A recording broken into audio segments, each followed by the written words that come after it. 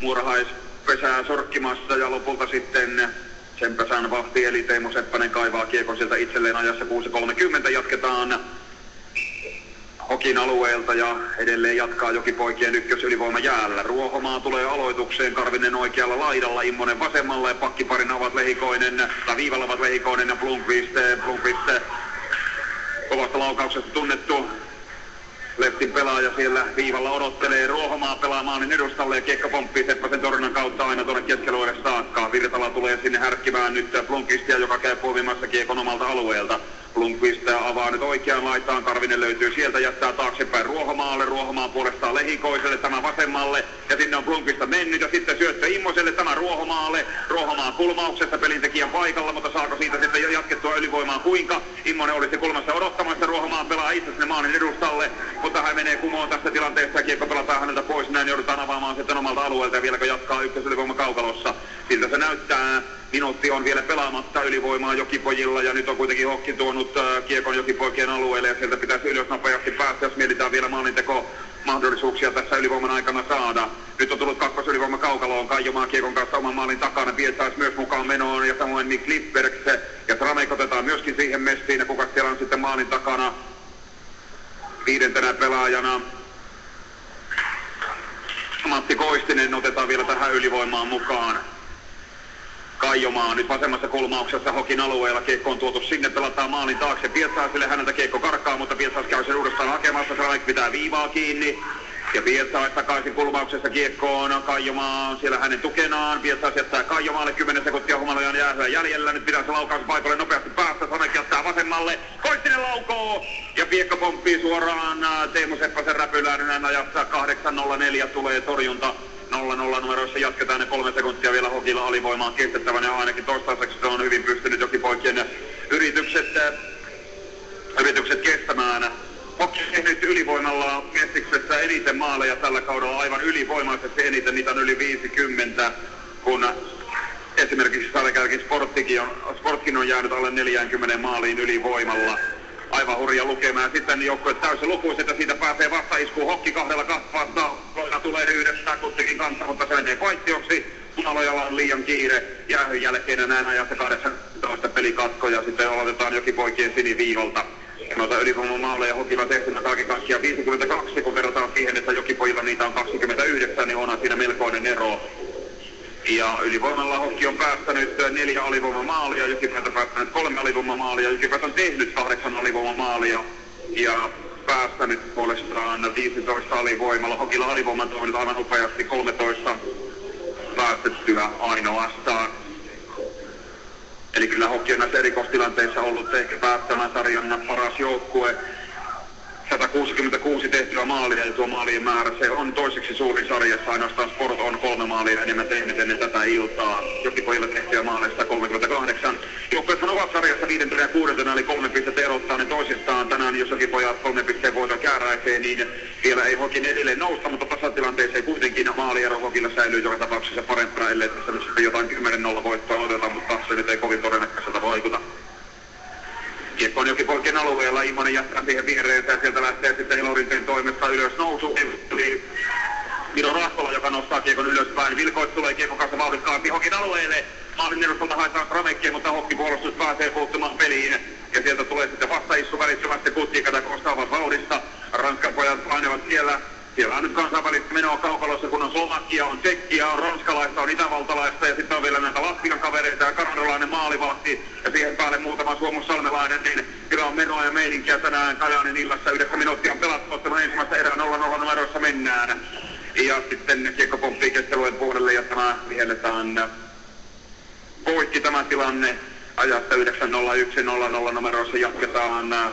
Kokki siinä yritti mylläkkää luoda joensuulaisten alueelle, mutta se meni paitsioksessa lopulta tuo tilanne ja näin uusi aloitus siniviivalta. Ja aloitukseen kyyristyneenä Niskakangas hokin pelaajista.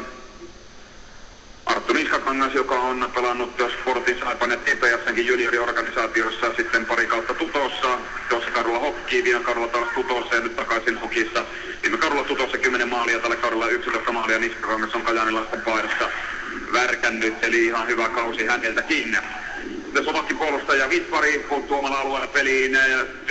Työntää kiekkoa ylöspäin. Karppista hakien joutuu itse puuttumaan sinne viivalle ja sitten kadottaa kiekkona. Siitä pääsee Ville Halonen yhdessä Karvisen kanssa yrittämään. Marneroselle tullaan, että Kauppila on siinä on siinä tekemässä jopa kauden ensimmäistä maalia, mutta Seppänen kestää tämän rynnistyksen, mutta vauhilla tuli Kauppila siihen maalin edustalle. Hyvä peliä häneltä. Siinä onnistui parikin hokkipakki ittämään tuossa tilanteessa, mutta sitten Teemu Seppänen viimeisenä muurina kesti Kauppilan ylös nousun. Popanov tulee nyt vasemmalta ja paitsi jos se menee ajasta 9.49 uusi peli katko ja aloitellaan jokipoikien siniviivalta. Tässä oli yksi kahden minuutin rangaistus toistaiseksi vihelletty ja se tuli hokin pelaajalle Miska Humalojalle. Mutta sen oli voiman hokki hienosti kesti ja toistaiseksi on siis parasta maalipaikka ollut jokipoikien Mikael Ruohomaalla, joka ampui tolppaan. Ensimmäinen erä on puoli välistä, 0-0 numero taululla, Jokipäät lähtee omalta alueelta nousemaan ylöspäin. Koistinen avaa oikealle, sieltä Niva jo viilettää Hokin alueen kulmauksen, se maalin taakse saa Niva pelattua. Ja kiekko pomppii loppujen lopuksi tuonne pääty verkkoon saakka näin uusi aloitus Hokin alueelta ja aloituksessa Jokipohjalta ykköskenttä, jossa keskellä Mikael Ruohomaa ja laidassa niin Blomqvist Janne Niva pakkiparina. Siellä ovat Aleksi Elorinne ja Matti Koistinen. Ja Virtala on Ruohomaata vastassa. Tämä Teemu Virtala on 30 lukko kasvetti pelasi ensimmäistä kertaa hokissa ja vajaat 10 vuotta sitten kaudella 2005-2006. Sitä edeltänyt kausi KK. Hän on käynyt kalpassa pelaamassa liikaa, liki 60 peliä löytyy liikkokokemusta, mutta siellä ei kuitenkaan maaleja aikaiseksi saanut. Nyt tulee hokkikiekon kanssa jokipoikien alueelle, mutta tämä yritys onnistutaan paikkaamaan. Ruohomaan hakemassa kulmauksesta kiekon Kertaan vielä Virtavasta senkin verran, että hän on Norjassa Stavangerin joukkueessa käynyt pelaamassa ja nyt kolmatta kautta putkeen pelaa sitten Hokissa, jota on hänen elämänsä kausi ehdottomasti viime kaudella 10 maalia. On liki 300 mettispelin mies, tosiaan 18 plus 40 aivan käsittämättömät tehopisteet, kun Ruohomaan tulee Kiekon kanssa Hokin alueelle, mutta häneltä kiekko otetaan pois ja lopulta se li, lipuu sitten Hokkivahti Seppäsen räpylään tuo tuo kiekko ja näin ajassa 10.43 tulee peli katko ja uusi aloitus Hokin alueelta. Ja aloitukseen Juuso Kaijomaa ja hän vastaan ja Kosta, jolla on sekä Ranskan että Puolan kansalaisuus. Viime kaudella pelasi Puolan liikaa, mutta Ranskan maajoukkosta löytyy myös pelejä. Hän oli yhdessä Antoni Kuttikin kanssa viime kaudella, tai viime keväänä pelaamassa Ranskan MM-joukkueessa Helsingistä. Ja molemmat ovat yhden maalinkin noissa kisoissa onnistuneet pärkkäämään. No nyt tulee sitten hokki Jokkikokien alueelle nimenomaan näiden Ranskan kavereiden toimesta. Siellä on sitten heidän luottopuolustajansa Jarkko Heikkinen mukana viivaa pitämässä, kun Tikvarassa ei vaan Kosta pääsee ampumaan, mutta Sven torjuu, kiekko pomppii kulmaukseen. Viivalla on Da Costa, 0-0 numeroissa mennään, mutta nyt Hokki myllyttää siellä Jokipoikien alueella kiekko pelataan vasemmalle, Matus Visvari pääsee sitä laukomaan, mutta menee metrikaupalla ohitse maalista, vaikka kovinkaan kaukana ei, ei häkissä ollut. Visvari kun ampumaan pääsi, mutta maana oli sen suunnattu, että aivan ohi meni. Ja sitten tulee kova tälli Kaijomaalta, mutta ohitse tolpasta häneltäkin, kun Jokipojat vasta iskussa. Kaijomaan pääsi takaisin koittamaan Litterkin hyvästä syötöstä. Ja nyt sitten puuttuu peliin Kosta omalla alueella pulmauksessa, saa pelattua ylöspäin. Hiltosta hakien Visvari menee vasemmalla, mutta menee suoraan vaikka aitioon ja näin joutuu sitten Hokki vaihtamaan uutta kaveria kaukaloon. Unterweger tullut jäälle. Hiltunen luistelee vaihtoaitioon ja nyt ottaa Hokki sitten tämän niskakantaan äh, kentän jäälle. Eli nelosen keskellä Veikko Karppinen laidolla Niskakangas ja Antti Kurkinen. Santanen puolustuksesta avaa ylöspäin. Pomppii Anna Spenselle saakka. Sama avaa keskialueelle. Ja lopulta sieltä joutuu Veli-Antti Leinonen, joka on juuri tullut kaukaloon hakemaan kiekon oman maalin takaa reilut 12 minuuttia pelattu 0-0 numerot taululla ja hyviä paikkoja ollut molemmilla. Ehdottomasti paras kuitenkin se Ruohomaan tolppakuti. Ja sitten Janne Pälve puolustuksessa rännin kautta avaa jokin poikien maalin taakse. Spence tekee samanlaisen tempun ja rännin kautta alueelle. Siitä koittaa Vilkois päästä ja pääsee kiinni. Ja enää häntä vastassa olisi siinä nyt sitten puolustaja Janne Pälve, mutta Pälve ei ole tänään ohitettavissa. Ja näin joutuu sitten Vilkoittaa ajamaan kulmaukseen, syöttää sieltä Rotekilta, mutta syöttö on huono ja siitä pääsee hokki vasta iskuun. Ja sitten Maalin edustalle haittaa paikkaa ja Spence torjuu vain vaivoin tämän yrityksen. Kuka siinä pääsi oikein kokeilemaan? Hän oli Mitta Humalo ja hokkipelaajista, jolle syötettiin kulmaukset. Nyt tulee jokipoita vasta iskuun ja laajassa laitaan tässä jälleen mennään. 13 minuuttia pelattu 0-0 numero taululla ja Humalojalla oli hyvä paikka siirtää kotijoukkoa 1-0 johtoon, mutta Spence ottaa siitä torjunnan vyöllensä. Ja näin pitää sitten Leinonen kiekkoa maalin takana nimenomaan Viljantti Leinonen lähtee tulemaan ylöspäin. Leinonen on äh, luottopuolustaja Hokilla ei ole yhtään maalia tällä kaudella tehnyt, mutta hän on tuolla niin betoni pitää maalin edustan usein puhtaana ja sitä varten hän nyt on seuraana palkattu mihinkään maaleja tekemään. Kuusi syöttöpistettä Leinoselta kylläkin löytyy. Hän on kärppäkasvatti ja pelasi Hokkissa ensimmäistä kertaa jo yhdeksän vuotta sitten. Nyt tuo Hokki kiekko sitten maalin edustalle ja saako siellä kotijoukkueen luotua maalipaikan? Ei saa vaan. Kiekko pomppii sinne maaliverkon päälle jonnekin ja näin tulee pelikatko ajassa 13.36. Miettikö runkosarja lähestyy siis loppuaan ja Jokipoja, että mikäli onnistuu äh, loppupeleissä hirvittävän paljon pisteitä käärnäisemään, niin tässä on vielä pieni mahdollisuus nostaa neljä parhaan joukkoon ja tarvita näin kotietuun kiinni playoffeissa, jotka käynnistyvät sitten maaliskuun alussa, mutta voi, voi se vähän vaikeuksia kyllä tehdä, sen verran matkaa on jo KK, joka on 8 pistettä edelleen sarjassa tällä hetkellä neljäntenä vieläpä yhden ottelun vähemmän pelanneena kuin Joki Pojasta. Tämän ottelun jälkeen Joki Pojalla vielä kuusi kamppailua jäljelle tätä kautta. Ja sitten tullaan keskeltä Janne Nivaa, mutta Kiekko karkaa häneltä ja Jarkko Heikkinen puuttuu omalla alueella peliin. Sitten Mikael Ruohomaa. Ruohomaa syöttää taaksepäin Esa Lehikoiselle. Tämä takaisin Ruohomaalle. Ruohomaa on nyt omalla alueella. Ruohomaa lähtee tulemaan siitä keskeltä, mutta ei pääse, ei pääse ylöspäin, vaan ja Kosta pitää tuon keskellä hyvin sumpussa ja näin sitten Ruohomaa joutuu perustelemaan omalta alueelta. Nyt saa syötettyä vasemmalle, vasemmalle mutta Blomqvistin kiekko karkaa juuri ratkaisevalla hetkellä. Hokki pääsee vasta iskuun. Hiltonen laukoo, kiekko pomppii. Spensen Tornen myötä päätyy verkkoon ja näin Tornen jälkeinen aloitus ajassa 14.24 ja se aloitus poikien alueelle. Näin mennään edelleen siis 0-0 numeroista.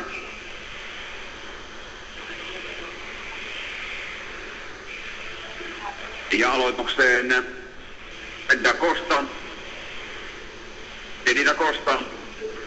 Hokin 30 sentteri ja hänen, hänellä vastassa oli Juuse Vaijomaa ja Hokki nappaa sitä kiekko, mutta Jokipää saa kuin saakin kiekko lisätyä itselleen, että tuo toimitetaan Hokin alueelle ja sieltä sitä lähtee sitten hakemaan puolustaja Unterweger, itävaltalainen pelaa siihen viivalle elorinteelle ja sitten vasemmalta pääsee kokeilemaan Alkausua jälleen kaijomaan, mutta yli menee maalista, kiekko pomppii maalin taakse ja siellä on Kasper Santanen sitä hakemassa. Tämä Unterberger varmasti havitteli paikkaa ihan Itävallan olympiajoukkueesta asti, mutta sinne saakka eivät kuitenkaan peliesitykset riittäneet, vaikka hyvin on tällä kaudella Meksissä pelannut. Pääsee tulemaan sitten jälleen tämä Hiltonen Dakosta Kutti kentällinen Eli Hokin kolmonen ja tulee sinne jokin poikien alueelle. Ja kyllä tämä, tämä trio on saanut tästä kaikkein eniten aikaiseksi, ainakin toistaiseksi Hokilta. Ja he ovat päässeet hyviä paikkoja luomaan jatkuvasti. Torres Prinsen Vartenomainen edustalla jälleen siellä ollaan myllyä järjestämässä. Ja Immonen ja Rahkola ovat äh, hivenen vaikeuksissa maanin edustalla, mutta tilanne on, onnistutaan kuitenkin siivoamaan Mick Lippert apura, apulaisena. Ja sitten Immonen ajaa laitaa vasten pelaajan ja näin Rahkola sillä kulmauksessa Hiltosen kimpussa seuraavaksi. Saako Hiltonen jätettyä siihen viereensä vain saakin. Ja saa jätettyä ja Veikko Karppiselle, joka on juuri tullut kaukaloon Niskarangas, otetaan sinne myöskin Danukin nelonen pyörittämään peliä sinne yläkertaan, mutta jokin voi taivaa kiekko Raappola jättää vasemmalle Lippersille, mutta häneltä kiekko karkaa suoraan Niskakankaalle, Niskakangas maalin edustelu laukoo ja Spence torjuu. Ajasta 16, a 51 tulee pelikatkotornin jälkeinen aloitus. 0-0 numerossa mennään kamppailua Hokki Jokipojat täällä Kajaanin illassa. Ensimmäinen erää lähestyy loppua vielä neljä minuuttia pelaamatta. Ja uuteen aloitukseen kyyristyneenä sitten Mitka Humalo ja Hokin ykköskentän sentteri ja häntä vastaan saapattelee Jokipojilta puolestaan kolmosen keskusyökkäjä eli Raimons Vilkoit. Ja siitä sitten Jokipojat ottaa kiekon keskeltä lähdetään tulemaan, vasemmalle pelataan Lehikoiselle, oikealla menisi jo Vilkois, Lehikoinen rännin kautta avaa maalin taakse. Jotenkin, jotenkin se pomppii aina Teemu Seppäselle saakka, hokki maali vahdettama avaa ylöspäin, kiekko keskialueelle. Lehikoinen pitää keskialueen sumpu hyvin kasassa ja nyt on tulossa rangaistus. Ja se tulee hokin pelaajalle, siellä Teotaroi Jarkko Heikkinen siihen malliin. Heikki Puustista laitaa vasten, että tästä tulee jäähy. Heikkinen lähtee istunnolle ajassa 16.15. Päätuomari Kovasen puhallettua pilliinsä ja koukkaamisesta lähtee Heikkinen jäähylle. Ja näin äh, suomalaislähtöinen Heikkinen kuluttamaan hänelle varmasti aika tuttua penkkiä, Kajaanin jäähallin jäähypenkkiä. Hän äh, tuli tänne hokkiin pelaamaan ensimmäisen kerran syksyllä 98. Tuolloin hokki pelasi kakkossa divisioonassa. 21 liikapeliä löytyy Tepsistä myöskin Heikkiseltä. Jokipoikien ykkösylivoiman kaukalossa ja Karvinen siellä edelleenkin pyörii yhdessä Ruohomaan ja Blomqvistin, Immosen ja Lehikoisen kanssa. Ja ainakin nämä tuossa ensimmäisessä ylivoimassa tämä ko- koostumus toimi aika lailla hyvin. Karvinen saa hyvin mylläkkää luotua sinne maan edustalle. Nyt tulee laukaus viivalta ja se tulee Blomqvistilta. Ja sitten Pohki purkautuu laukauksen jälkeen kulmauksesta. Kiekko to- toimitetaan Jokipoikien alueelle saakka. Sieltä Spence lähtee sitä hakemaan, jättää siihen viereensä Lehikoiselle ja näin lähtee tulemaan Jokipojat uudestaan omalta alueelta ylöspäin. Lehikoinen nyt maalin takana, Ruohomaa, Karvinen, Blomqvist, Immonen. Immonen partio jo siellä hokin viivalla tällä hetkellä. Ja näin sitä tullaan Kiekon kanssa hokin alueelle. Ja vauhdilla tullaankin laukaus Blomqvistilta vasemmalta, mutta se menee ohitse maalista ja kiekko pomppii aina aina Jokipoikien alueelle saakka ja näin sitten Ruohomaa sieltä sitä hakemaan. Ruohomaa nyt keskeltä. Ruohomaa ohittaa siinä yhden hokkipelaajana. Sitten on kolme edessä. No syöttö oikealle Karviselle. Rameikko tullut kaukaloon. Rameikko nyt viivalla. Rameikko pelaa kulmaukseen Ruohomaalle. Ruohomaa kadottaa kiekko, mutta käy sen uudestaan hakemassa. Janne Pälve siinä pitämässä häntä. Otto Karviselle pelataan nyt maalin taakse. Ruohomaa siinä. Sitten maalin edustalla on jo Poikkinen ja Ramekolissa siellä myöskin. Nyt on siis otettu tämä pakkikaksikko Lehikoinen ja Immonen pois ja viivalta lähtee laukaus ja nyt olisi paikka ja laukaus tuleekin Kostiselta ja siellähän se on. Ramek siirtää Jokipojat 0-1 johtoon ajassa 17.44. Siinä saatiin hokkipuolustus hokkipuolustus pelattua Kumon maalin edustalla näin ollen Jakub Ramekon tuo viimeinen pelaaja Jokipojista, joka kiekkoon koskee ja onnistuu irtokiekon, irtokiekon, irtokiekon tälläämään sitten lopulta Seppäsen selän taakse. Sen verran kauan peli pyöri sinne maalin edustalla, että ei siinä enää mitään muuta mahdollisuutta ollut kuin Jokipojilla tehdä se ylivoimamaali. Ja Jakub Ramek pelaaja käy sieltä tälläämässä tämän kauden 14 täysosumaan saa ja siitä ottaa sitten Matti Koistinen itsellensä syöttöpisteen ainakin ja tulee varmasti jollekulle muullekin syöttö. Hyvä ylivoimatilanne saatiin luotua maalin edustalle ja siinä oli hokkipuolustus joku maalin edessä ja näin ollen sitten Jokipojat 0-1 johtoon, kun reilut kaksi minuuttia pelaamatta ottelun ensimmäistä erää.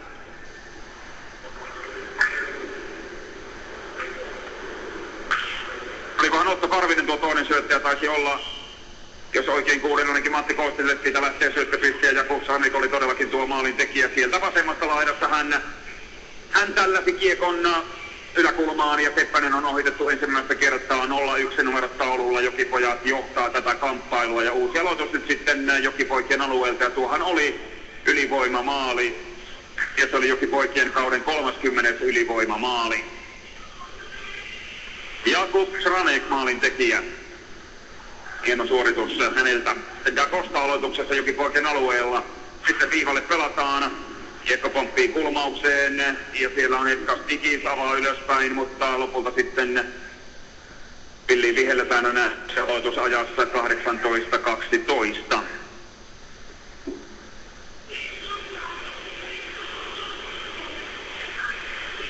Aika hyvin nyt tuo ylivoima, kun Otto Karvinen laitettiin sinne pelaamaan ykkösylivoimaa yhdessä Ruohomaana Blomqvistin kanssa. Totta kai Ranek oli ehtinyt kakkosylivoimasta jo kaukallaan tullut tulemaan, eli siinä mielessä oli vähän erikoinen tuo koostumus, mutta sillä saatiin maali aikaiseksi ja kaikki siinä mukana olleet ansaitsevat ehdottomasti kehut tuosta äskeisestä suorituksesta, jonka ansiosta jokivat johtaa tätä taista 0-1. Onko lisää tulossa? Kauppila laukoo, Seppänen torjuu kiekko pomppii maalin taakse. Karvinen mukana menossa tässäkin hyökkäyksessä ja tämä Kauppila pelaa nyt kyllä energistä ja hyvää peliä ja kyllä hänelle se maalin tässä toisi ehdottomasti. Se olisi Kauppilalle ensimmäinen mestismaali ja sitä toivotaan sellainen tänään hänelle tulee pari, pari asiallista paikkaa jo ollutkin, mutta nyt tulee sitten Virtala syöttää siihen Samu Pitkäselle ja Spence ottaa torjunnan.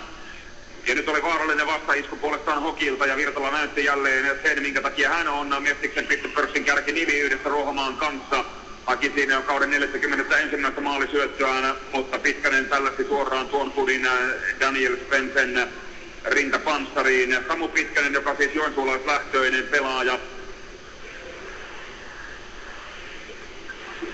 paras kausi Jokipojissa, kausi 2010-2011, jolloin teki 13 maalia ja 22 syöttöpistettä. Viime kaudella hän oli tutossa, jossa 20 maalia.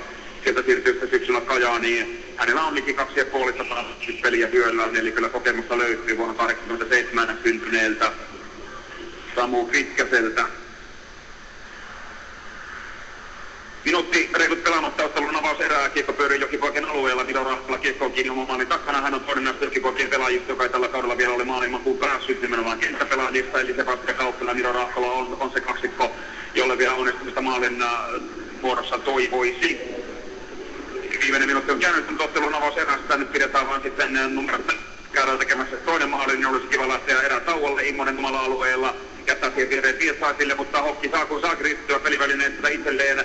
Immonen on pienissä vaikeuksissa siellä kulmauksessa ja näinpä sitten saadaan kuitenkin maalin taakse pelattua lopulta Lipsberg sille vasempaan laitaan. Lipsberg hakee pitkällä syötöllä Elvis Pietsaista ja sitten pelikatko vihelletään ajasta 19.23, eli se oli pitkä kiekko ja näin äsken tilanteessa mukana olleet pelaajat joutuvat sitten vielä palaamaan takaisin kaukaloon, eli Listersin syöttö oli vähän liiankin vauhdikasta ja se menee pitkäksi uusi aloituksenkin poikien alueelta.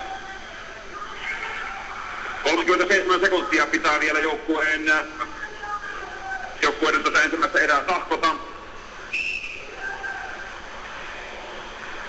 Ja siellä on sitten Teemu Virtalan johtama kenttä Hokilta nyt tasoitusmaalia viimatuksen hakemassa. Hän laidoilla on hyökkäämässä Kikkanen ja Riku Toivo tänään. Toivo on ollut vähän näkymätön tämän illan kamppailussa. Ehkä sieltä sitten jotain, jotain löytyy uutta toiseen ja kolmanteen erään. Hänellä on 13 maalia ja 28 syöttöpistettä tälle kaudelle, mutta juuri tässä ottelussa ei kyllä mitenkään erityisesti ole, ole loistanut lähtee jokin tulemaan tajumaan keskeltä syöttö oikein laittaa Piettaisille ja Pietsaista laukoo sieltä viivan takaa, Seppänen torjuu kiekkoon, pomppi siihen maalin edustalle. Ja sitten veli Leinonen avaa ylöspäin. Niskakankaa, joka juuri tullut kaukaloon. Niskakankaa tulee vielä kiekon kanssa maalin edustalle. Pitää olla tarkkana, että tuosta ei tasoitusta tulee. Hetki kuluttua soi summeri, se on juuri nyt. Ja ihan loppuun saa vielä hokki, hokki ihan hyvän paikan sille järjestettyä, mutta ei kuitenkaan maalia. Numerot taululla ovat 0-1. Ja tullaan takaisin tänne noin 15 minuutin kuluttua seuraamaan, kuinka käy Nissa ja selostaa sieltä suorana Hokki vastaan Jokipojat ottelun. Ole hyvä Lauri. Joo, tervetuloa takaisin. Täällä aloitellaan ottelun toinen erä aivan hetken kuluttua. Ja tilanteita muista kamppailuista Sakko Jukurit. Siellä on 2-0 Sakko johdossa. Ja Sakko pelaa nyt kyllä aivan, aivan hurjassa iskussa tällä hetkellä. Pelitat Kiekko Vantaa 0-0, HCK Sport 2-3 lukemista. Ää, ja koko Jup Akatemia puolestaan 1-0 avauserän jälkeen. Ja Sakko kun jatkaa tällaista lentoa, niin tiedä vaikka nousisi vielä ihan jopa playoff-peleihin saakka. Tietysti se vaatii vielä kolmen pisteen voittoja Savonlinnalaisilta aika monta kappaletta, mutta se on nyt voittanut monta ottelua putkeen ja kävi viime keskiviikkona jokin, jokin meillekin näyttämästä. Tuo kamppailu päättyi maaleen 0-3. Eli Sakko on kyllä tämän hetken ehkä kova kuntoisin joukkue miltei Mestiksestä, mutta saapa nähdä sitten riittääkö se riittääkö se sittenkään ihan playoff-paikkaan saakka tuo heidän lentonsa. Jokipojat joka tapauksessa playareissa on, se on ihan selvää, nimittäin pisteet on kerättynä 75 tähän mennessä. Ja kun nyt sarjassa nyt yhdeksäntenä oleva Jyp Akatemia on 61 pisteessä, niin kyllähän se sitä tietää, että ei sieltä, ei sieltä enää kukaan ohitse tule. Jukurita Kiekko Vantaa totta kai voi tulla, jos Jokipojat itse pelaa huonosti, mutta ettäkö kolme joukkuetta ohi vielä kiipeäisi, niin se, se vaikuttaa jo aika lailla mahdottomalta tempulta. 0-1 numeroissa mennään. Kohti ottelun toista erää jokipoikien avausmaalista vastasi siis Jakub Schramek, Otto Karvisen ja Matti Kostisen syötöistä ja Karvinen otti siinä kauden 10. syöttöpisteensä ja Matti Kostinen puolestaan kauden 11. syöttö pisteensä. Se oli ylivoima maali ja se syntyi ajasta 17.44.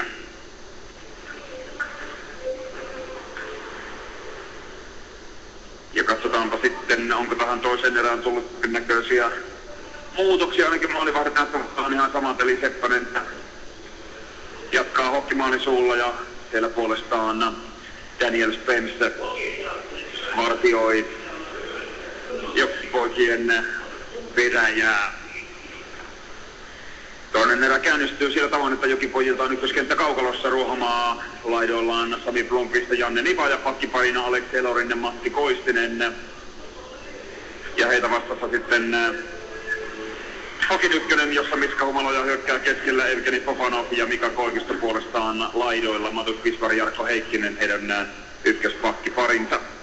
Hokki ottaa aloitusvoiton omalta alueelta lähtee hakemaan vauhtia. Heikkinen avaa vasemmalle. Sitten sieltä koitetaan humalojaa etsiä, mutta kiekko pomppii aina jokipoikien alueelle saakka. Elorinne puuttuu pelin omassa kulmauksessa. Jättää siihen oikeaan laittaa nyt Koistiselle. Sitten Janne Niva, hän on pienessä pyörityksessä.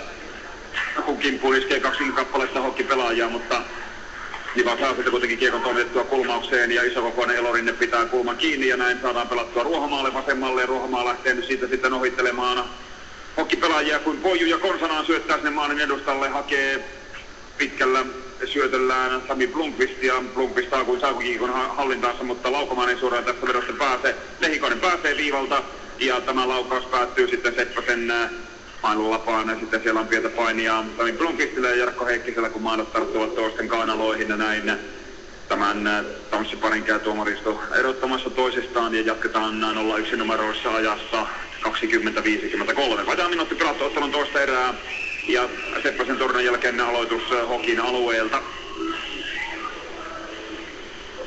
Ja aloitukseen kyristyy jokipoilta Juuso Kaijomaa ja häntä vastaan puolestaan Hokilta on on tullut äh, se ei ole Teemu Virtala, oliko se sitten Riku Toivo? Kyllä Toivo oli aloitukseen laitettu tuossa tilanteessa Toivo oli siis aika lailla näkymättömissä vielä ottelun ensimmäisestä erästä. 13 maalia tällä kaudella, mutta tänään ei, ei minkäännäköistä viitettä ainakaan toistaiseksi sellaisesta pelistä, jolla maaleja tehtäisiin. Elvis Piettaa kiekko se kiinni, mutta joutuu peruttelemaan omalle alueelle sitä hakemaan syöttö keskelle Lipperksille, tämä löytää Elvis Pietsaiksen, anteeksi, Edgar Stigiksen sieltä vasemmalta.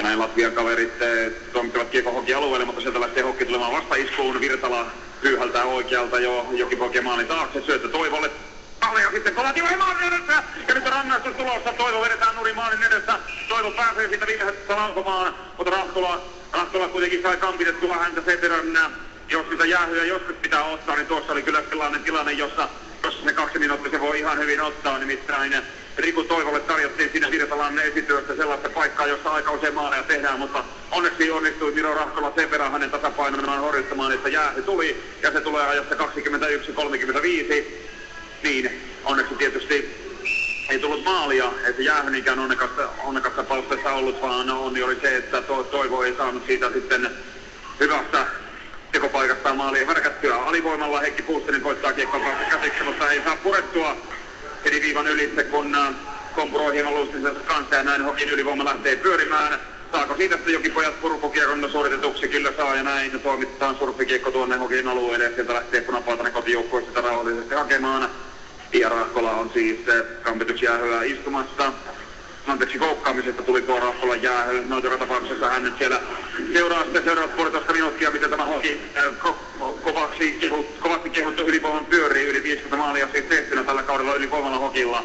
Heikkinen laukooka viivalta laukoo, mutta pomppii suoraan Karvisen polvista sinne kulmaukseen. Sitten lähtee uutta laukausta tulemaan. Tämä on siis ensimmäinen, ensimmäinen ylivoima, jota pääsee Hokki tässä harrastamaan. Tämä Kosta laukoi, mutta kiekko pomppii aina Hokin alueelle saakka jokipokien purun myötä.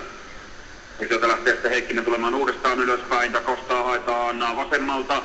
Kiekko pomppii lopulta aina Samu Pitkäselle saakka. Sitten Janne Niva käy kulmauksesta hakemassa kiekon. Pitkänen tulee siihen viereen painostamaan. Ja Niva rannin kautta koittaa avata keskialueelle, mutta viiva pidetään Hokin toimesta kiinni ja näin Hokin ylivoima pyörii. Unterweger viivalla syöttö Humalojalle T-pisteen kaarelle. Humaloja takaisin Unterwegerille. Vielä on 30 sekuntia Rahkolan jäähyä jäljellä. Sitten pelataan vasemmalle, sitten lähtee se pääsee purustamaan jokin ja Mikael Ruohomaa lähtee sitten Unterwegerin kimppuun aina tuonne Hokin alueelle saakka, mutta sieltä sieltä käy riittävältä pakkikiekon hakemassa ja pujottelee vauhdittaa se takaisin Joensuulaisten alueelle ja toinen sieltä ja mahdollista mutta tuo pidetään kuitenkin kurissa.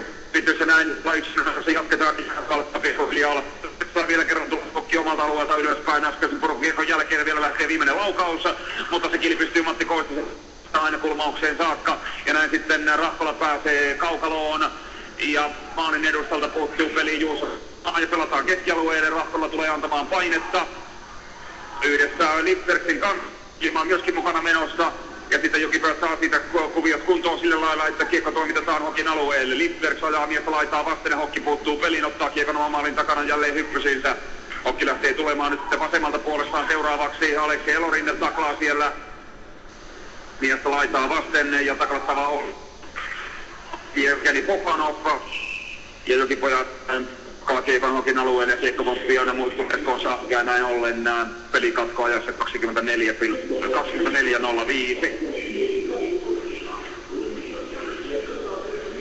Uusi aloitus ja se tulee jokipoikien siniviivalta. Tämä mainittu Evgeni Popanov on syntyisi Venäjällä, mutta hän on hokin kasvattaja kuitenkin nuorison joukkueessa ja hokissa pelasi neljättä kautta nyt sitten edustuksessa ja viime kaudella neljä maalia tehtynä tämän kauden tehopisteet Popanovilla ovat 6 plus 1.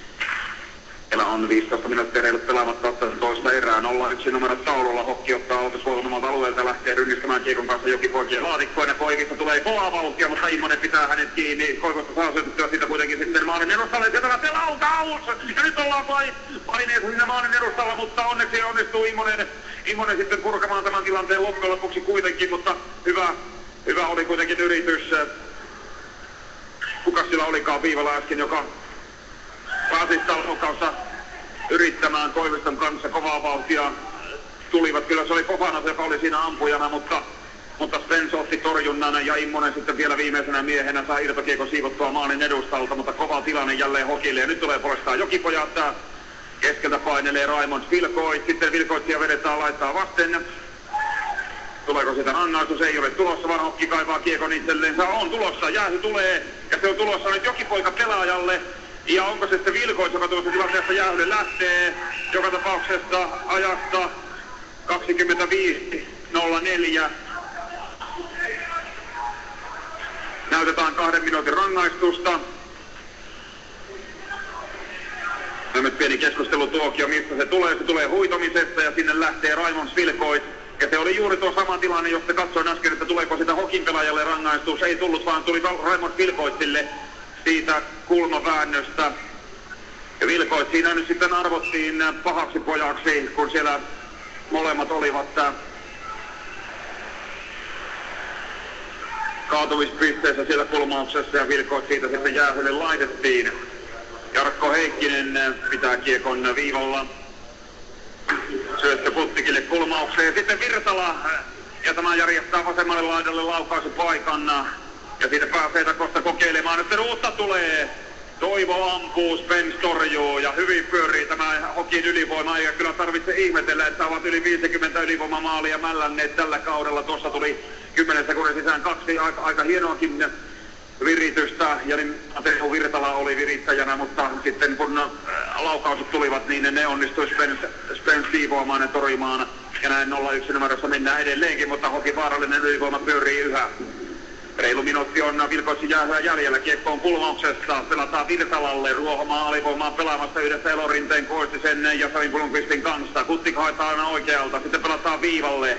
Jarkko Heikkinen lautoo ja kiekko pomppii kulmaukseen.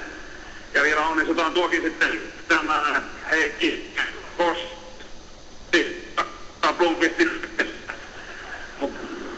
pelataan Virtalalle. Maalissa seuraavaksi toivoa kiekko lopulta hallintaan. Toivo hakee nyt sitten viiva. Heikki Jaksala ei päässyt suoritussyötössä laukomaan. Perustalle kuti tulee, se tulee suoraan päästä rintapanssaria. Aivan loistavaa torjuntatyöskentelyä Janilta tuossa äskeisessä tilanteessa. Siellä yrittää nyt pistää Kajaanin hokin ylivoimaan joensuulaisia tuossa lähistöllä sijaitsevalle Mantan grillille, mutta Daniel Spence seisoo toppien välissä kuin muuri ohittamattomana ja ottaa jälleen hienon torjunnan ja ajassa 26-28 pelikatko vilkoitti jäähyä vielä 30 sekuntia jäljellä. Ja aloit, aloit pojinsa juussa pääsään asettuu sitten mistä humaloja. Humaloja pelaa taaksepäin, hakee niskakangasta, sitten takaisin humalojalle, saako siitä hokki yli kuntoon, humaloja kulmauksesta, Hota Rahkola ja Immonen tulevat hänen kimppuunsa, Pietsaat ja Kaijomaa ovat muut alivoimapelaajat. Pietsais tulee nyt sitten humalojan Eivan Samu Pitkäsen kimppuun seuraavaksi. Joki koittaa purkaa, mutta Hokki pitää viivan kiinni. Vielä 15 sekuntia jäljellä. Ja nyt vedetään pitkälle nurin siinä maalin kulmauksessa.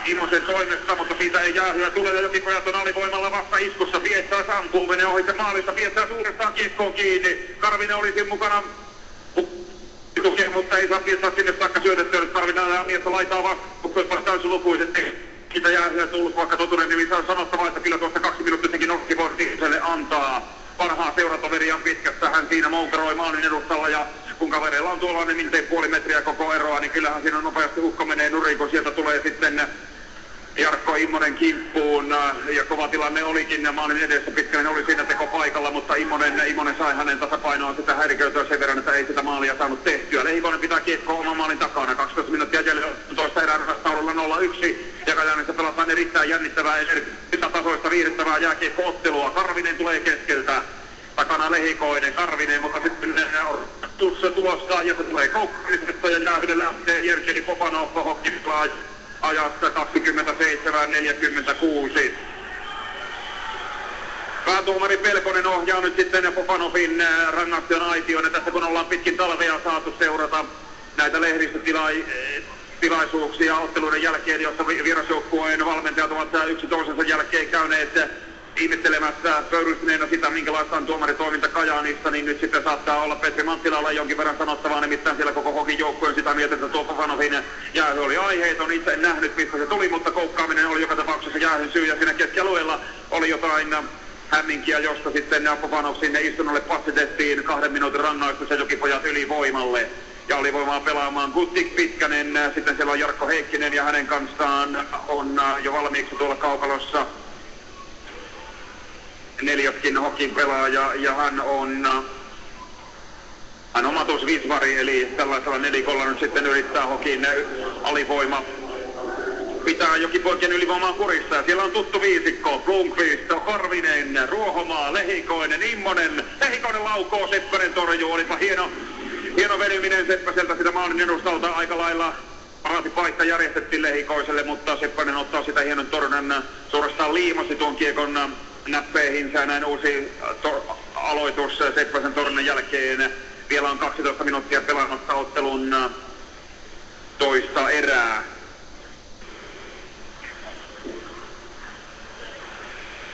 Sitten äh, päätuomari Pelkonen antamassa hieman ohjeistusta Hokin joukkueelle.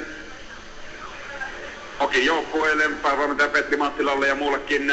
Leons oli kova ei Pelkonen vaan Kovanen, joka kävi, kävi neuvottelemassa Hokin päävalmentaja Mattilan ja muun joukkueen kanssa, mutta nyt luistelee sitten paikalle tulesteli viivalle ja sitten otetaan aloitusvoitto Jokipojille. Kovaa sananvaihtoa oli kyllä nyt äh, Hokin joukkueen johdon ja tuomarin välillä.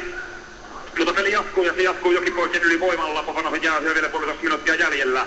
Lundqvist ei pysty pitämään viivaa kiinni ja näin joudutaan peruttelemaan omalle alueelle saakka. Lehikonen avaa sieltä vauhdikkaasti löytää vasemmalta ruohomaan. Tota taklataan laittaa vasten ja siitä koittaa hokki päästä alivoimalla karko matkalle. Ja sitten äh, pilli soi ja se soi ajasta 28-27 ja se taisi mennä paitsi, jos tuo tilanne ja näin ollen aloitetaan uudestaan sitten tuolta jokipoikien siniviivalta.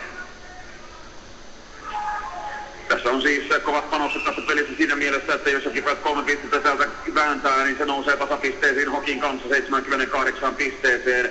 KK on tosin tällä hetkellä voittamassa Jyp Akatemiaa maalein 3-0, eli KK karkaisi, mutta HCK vastaavasti olisi vain viisi pistettä sitten näiden joukkojen yläpuolella ja HCK on tällä hetkellä Tappilasporttia vastaan 2-4, eli kaikki on vielä mahdollista runkosarjassa, kun taistellaan paikoista sijoista 3-6 ja siitä sitten hieno katko alivoimalla Hokin eh, Veikko Karppiselta, mutta Spence näkee tämän tilanteen ja lukee se hienosti ja luistelee kiekkoon kiinni ja näin sitä ei Karppinen pääse vasta-iskuun. Nyt pääsee kuitenkin Virtala tulemaan. Aivan hirvittävä harha syöttö Jokipojilta. Virtala pääsee tekemään alivoimaa maaliin.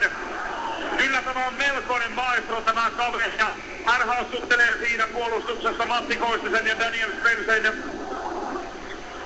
kahvilan puolelle ja Teemu Virtala tasoittaa alivoimalla tämän ottelun ajassa 28-59 ja se on tosi komea maali ja täytyy sanoa, että tämä Virtala on kyllä melkoinen ukko. Jos on Ruohomaa omalle joukkueelle tärkeä kaveri, niin kyllä Virtalasta voi sanoa ihan samaa. Aivan huikea pelimies ja nyt kauden 19 maali hänelle ja yksi yksi numerot taululla. Siinä tulee aivan käsittämätön harhasyöttö jokipojilla ylivoimalla tuossa keskialueella ja Virtala pääsee purjehtimaan.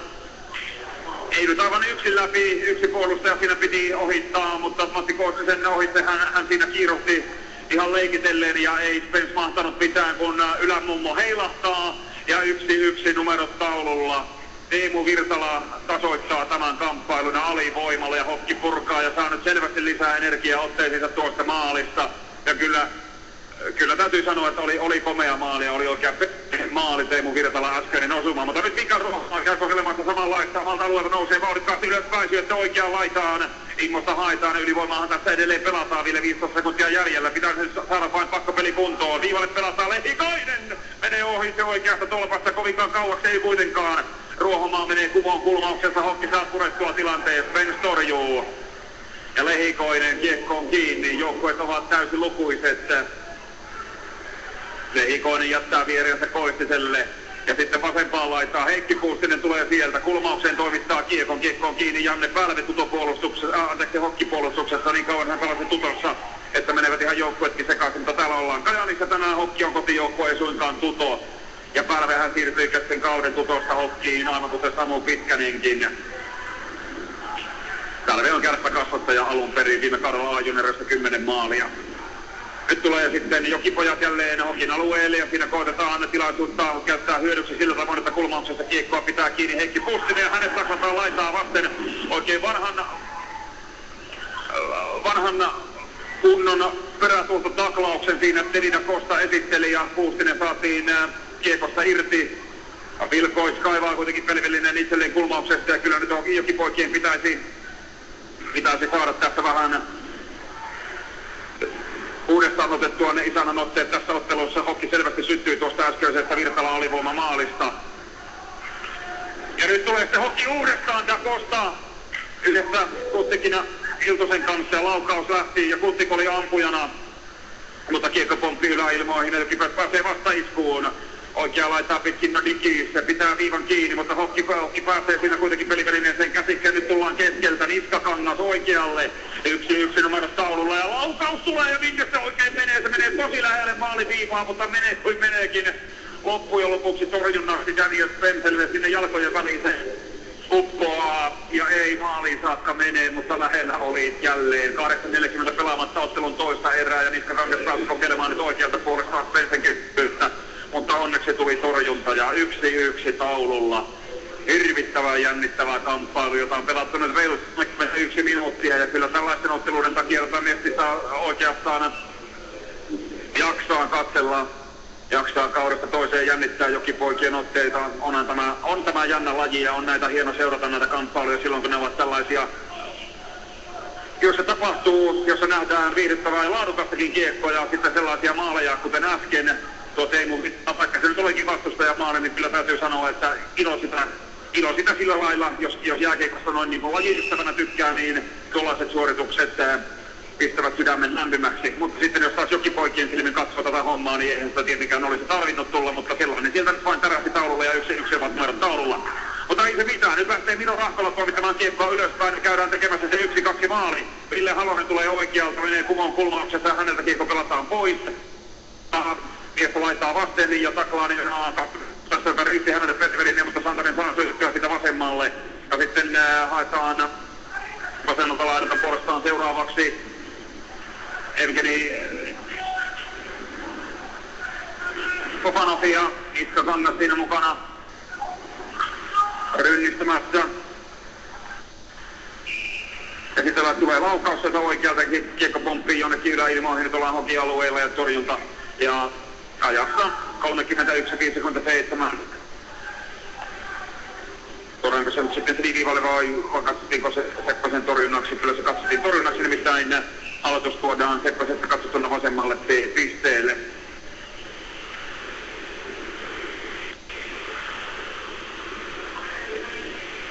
Ja aloituksessa Mikael Ruohomaa jokipojista ja hänen äh, kumppaninaan Sami Blomqvist.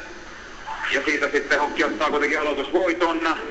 Ja mistä Humalojan johtama ykköskenttä tulee Kiekon kanssa jokipoikien alueelle. Spence ottaa torjunnan ja jättää Kiekko sinne vasemmalle ja Ruohomaa pääsee vauhdikkaasti rynnistämään sieltä. Tulee keskeltä, tulee oikean laitaan syöttö Janne Nivalle tämä laukoo ja se pomppii suoraan hokkipuolustuksesta takaisin Nivalle, jossa puolestaan Matti Koistinen työtää Kiekon ylöspäin. Ja sitten mennään maalin taakse ja siitä Ruohomaa käy häiriköimässä humaloja sen verran, että saa kiekko pelattua häneltä pois, mutta on kuitenkin hokkipuolustus käy sitten nappaamassa namuun seuraavaksi ja toimittaa sen jokkipoikien alueelle. Spence puuttuu pelin oman maalin edustalla. Rännin kautta avaa keskialueelle. Niva siellä pyörimässä ja painimassa. Ja Niva saa tyrkättyä kiekon Hokin alueelle ja sitten Hokki taas tuo sen keskialueelle uudestaan. Koistinen pitää viivan kiinni. Oma viiva nimittäin, ettei Hokki pääse siitä hyökkäystään kuntoon järjestelemään ja sitten Ruohomaa siinä vieressä takaisin Koistiselle. Tämä löytää Blomqvistin. Blomqvist rännin kautta maalin taakse ja siellä on vastassa Teemu Seppänen, hokki maalivahti. Jättää siihen ylöspäin. Veli-Antti Leinonen löytää nyt sitten vasemmalta puolestaan Samu Pitkäsen ja Pitkänen hakee maalin edustalta syöttöpaikkaa Leinoselle takaisin. Lipsbergs puuttuu peliin. Lehikoinen piti siinä myöskin maalin edustan ja Niko Toivon hyvin kurissa. Nyt on Kaijomaa vastaan Virtala taisteltu parina siellä Hokin alueella, pelataan maalin taakse. Virtala luistelemassa ja vaihtaa aitio, Hokki rauhoittaa peliä oman maalin takana. 6,5 minuuttia pelaamatta ottelun toista erää numerot taululla ovat 1-1. Hiltunen Hokki pelaajista.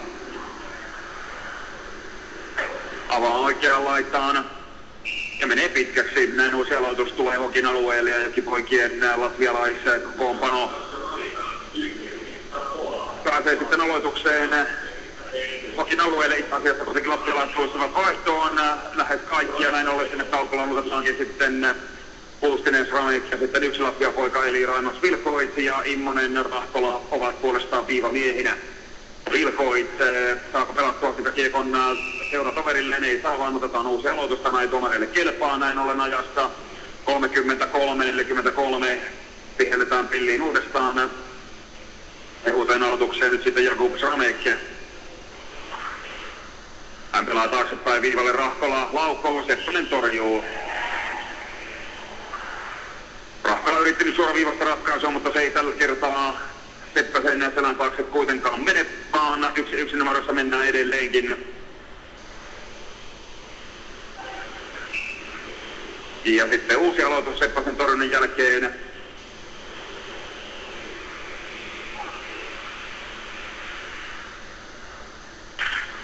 Ja Santanen hokkipuolustaja koittaa kiekon päästä käsiksi oman maalin takana, mutta liikypäät onnistuu kiekko pitämään siinä itsellensä Virkoitson kulmauksessa. Ja saa kuin saakin siitä syötön järjestettyä Samekille, mutta se pääsee hokkipuolustus sittenkin väliin ja näin Ranskan pojat Luttik ja Da Costa ovat jo vauhdissa tulossa jokipoikien alueelle yhdessä Timo Hiltosen kanssa. Da Costa, Luttik, saadaanko heiltä nyt kiekko pelattua pois. Hiltunen tulee paikkaamaan ja lopulta Hiltoselta se peliväline otetaan. Ja näin Puustinen syöttää Samekille. Samek tulee vasemmalta, mutta se menee paikassa tämä tilanne. Ja näin ollen nämä, kun 5,5 minuuttia pelaamatta ottelun toista erää, niin jatketaan sitten uudella aloituksella siniviivalta. Ja kaupalla on Iskakankaan Karppisen ja Kurkisen kenttä.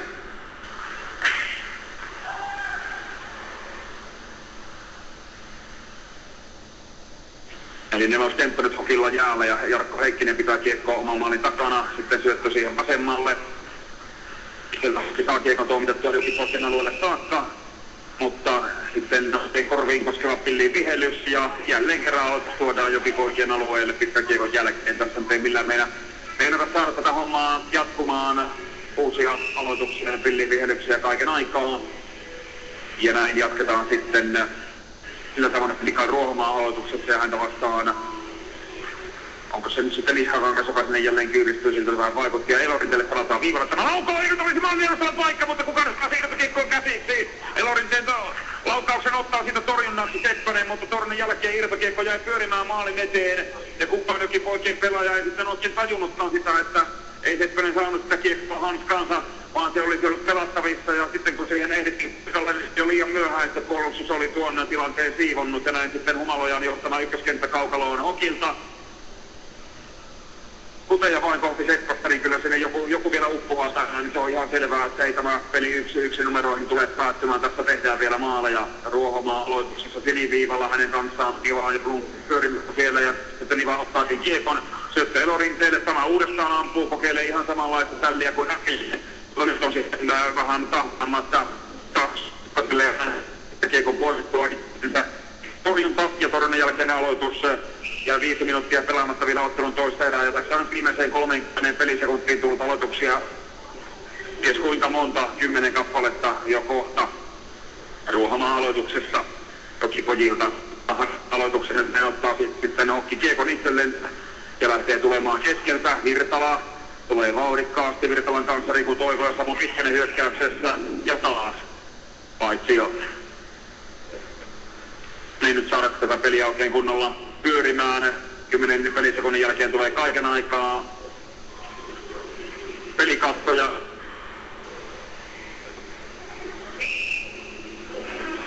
Ja sitten vaan uudestaan siitä sinikivan edustalta jokipoikien alueen luota.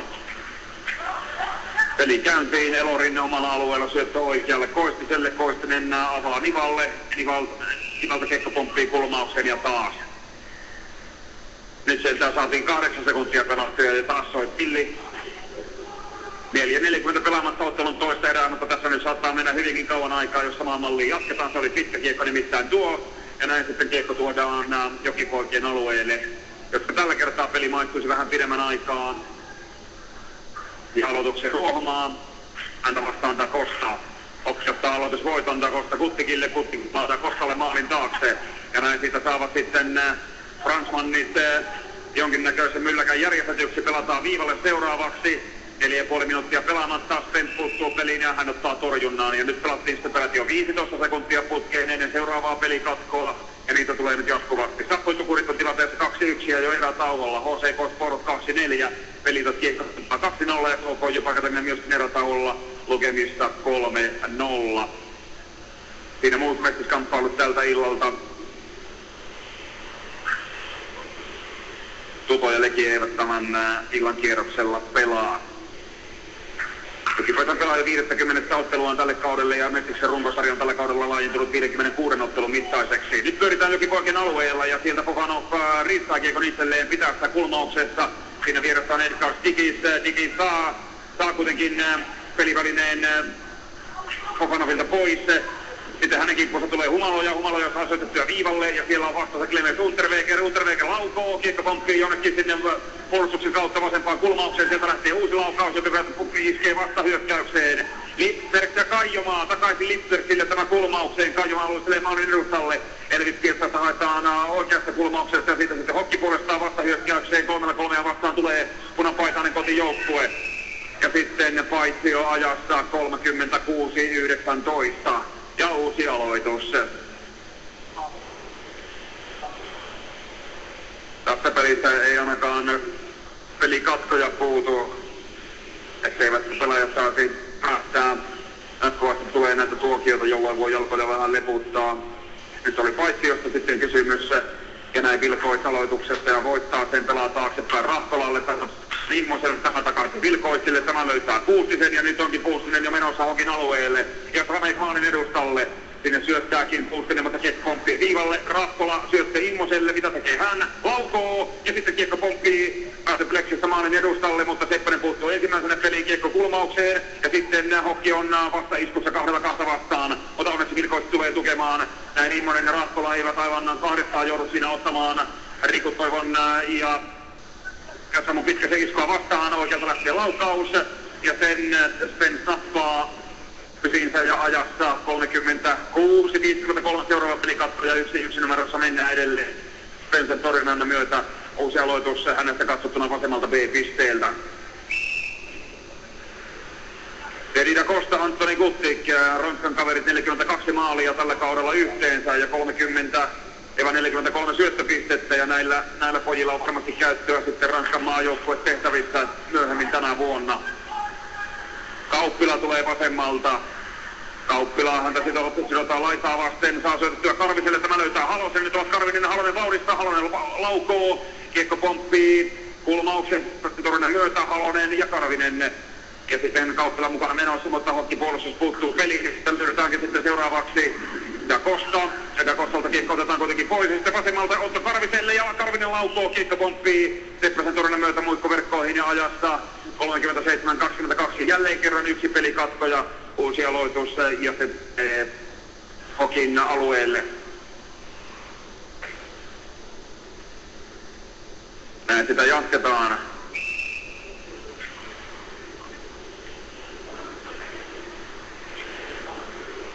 Mikael Ruohomaa jokipoilta aloitukseen kyyristyneenä.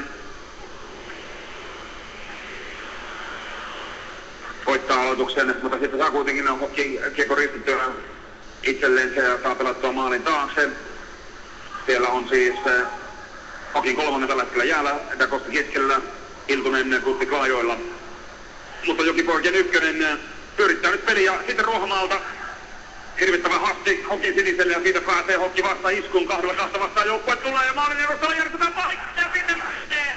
Sinne menee ja jälleen kerran se lähti siitä, että omalla alueella, tai omalla hyökkäysalueella Mikael Ruohomaa kadotti kiekoon Hokki vasta iskuun kahdella kahta vastaan ja Miska Humanoja tällä kotijoukkueen 2-1 johtoon ajassa 37-48. Ja nämä ovat nyt nämä kiekon menetykset olleet avainasemassa tällä kertaa jokipojilla. Ja se katsotaan itse asiassa vielä videolta tuo homma. Se on videotarkistus, mutta ei siinä nyt kyllä mitään epäselvää pitäisi olla. Ellei sitten äh, mennyt luistimen kautta tuonne maaliin. Ja voi olla, että tuota maalia ei hyväksytä humaloja. Se oli se maalin tekijä, jos, jos jos maali hyväksytään, mutta nyt äh, tuomarit katsovat, että oliko se sitten humaloja luistin ja nimenomaan potkumaali, jolloin siitä ei maalia tule. Ja numero täydellä syvättää yhdestä yhdestä.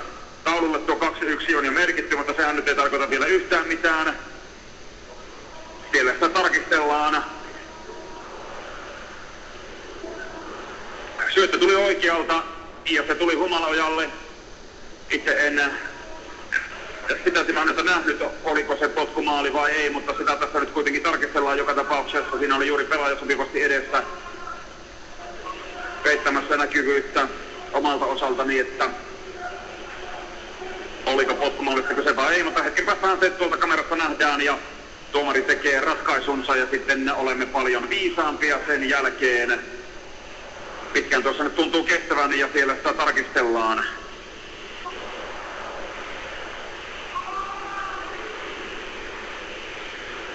Siellä sitä tarkistellaan.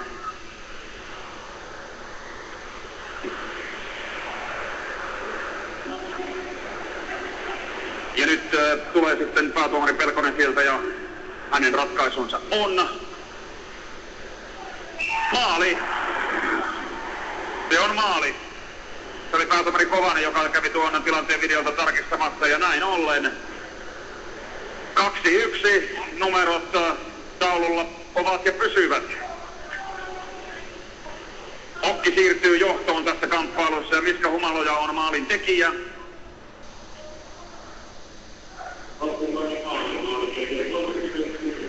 Ja se on hänelle jo tämän kauden seitsemäs maali. Evgeni Fofanov ottaa kauden toisen syöttöpisteensä. Ja sitten tulee hokki uudestaan, Virtala pääsee kokeilemaan, mutta Spence torjuu vajaa kaksi minuuttia pelaamatta ottelun toista erää ja näin jokipoikien johtoasema on sitten kuivunut kasaan.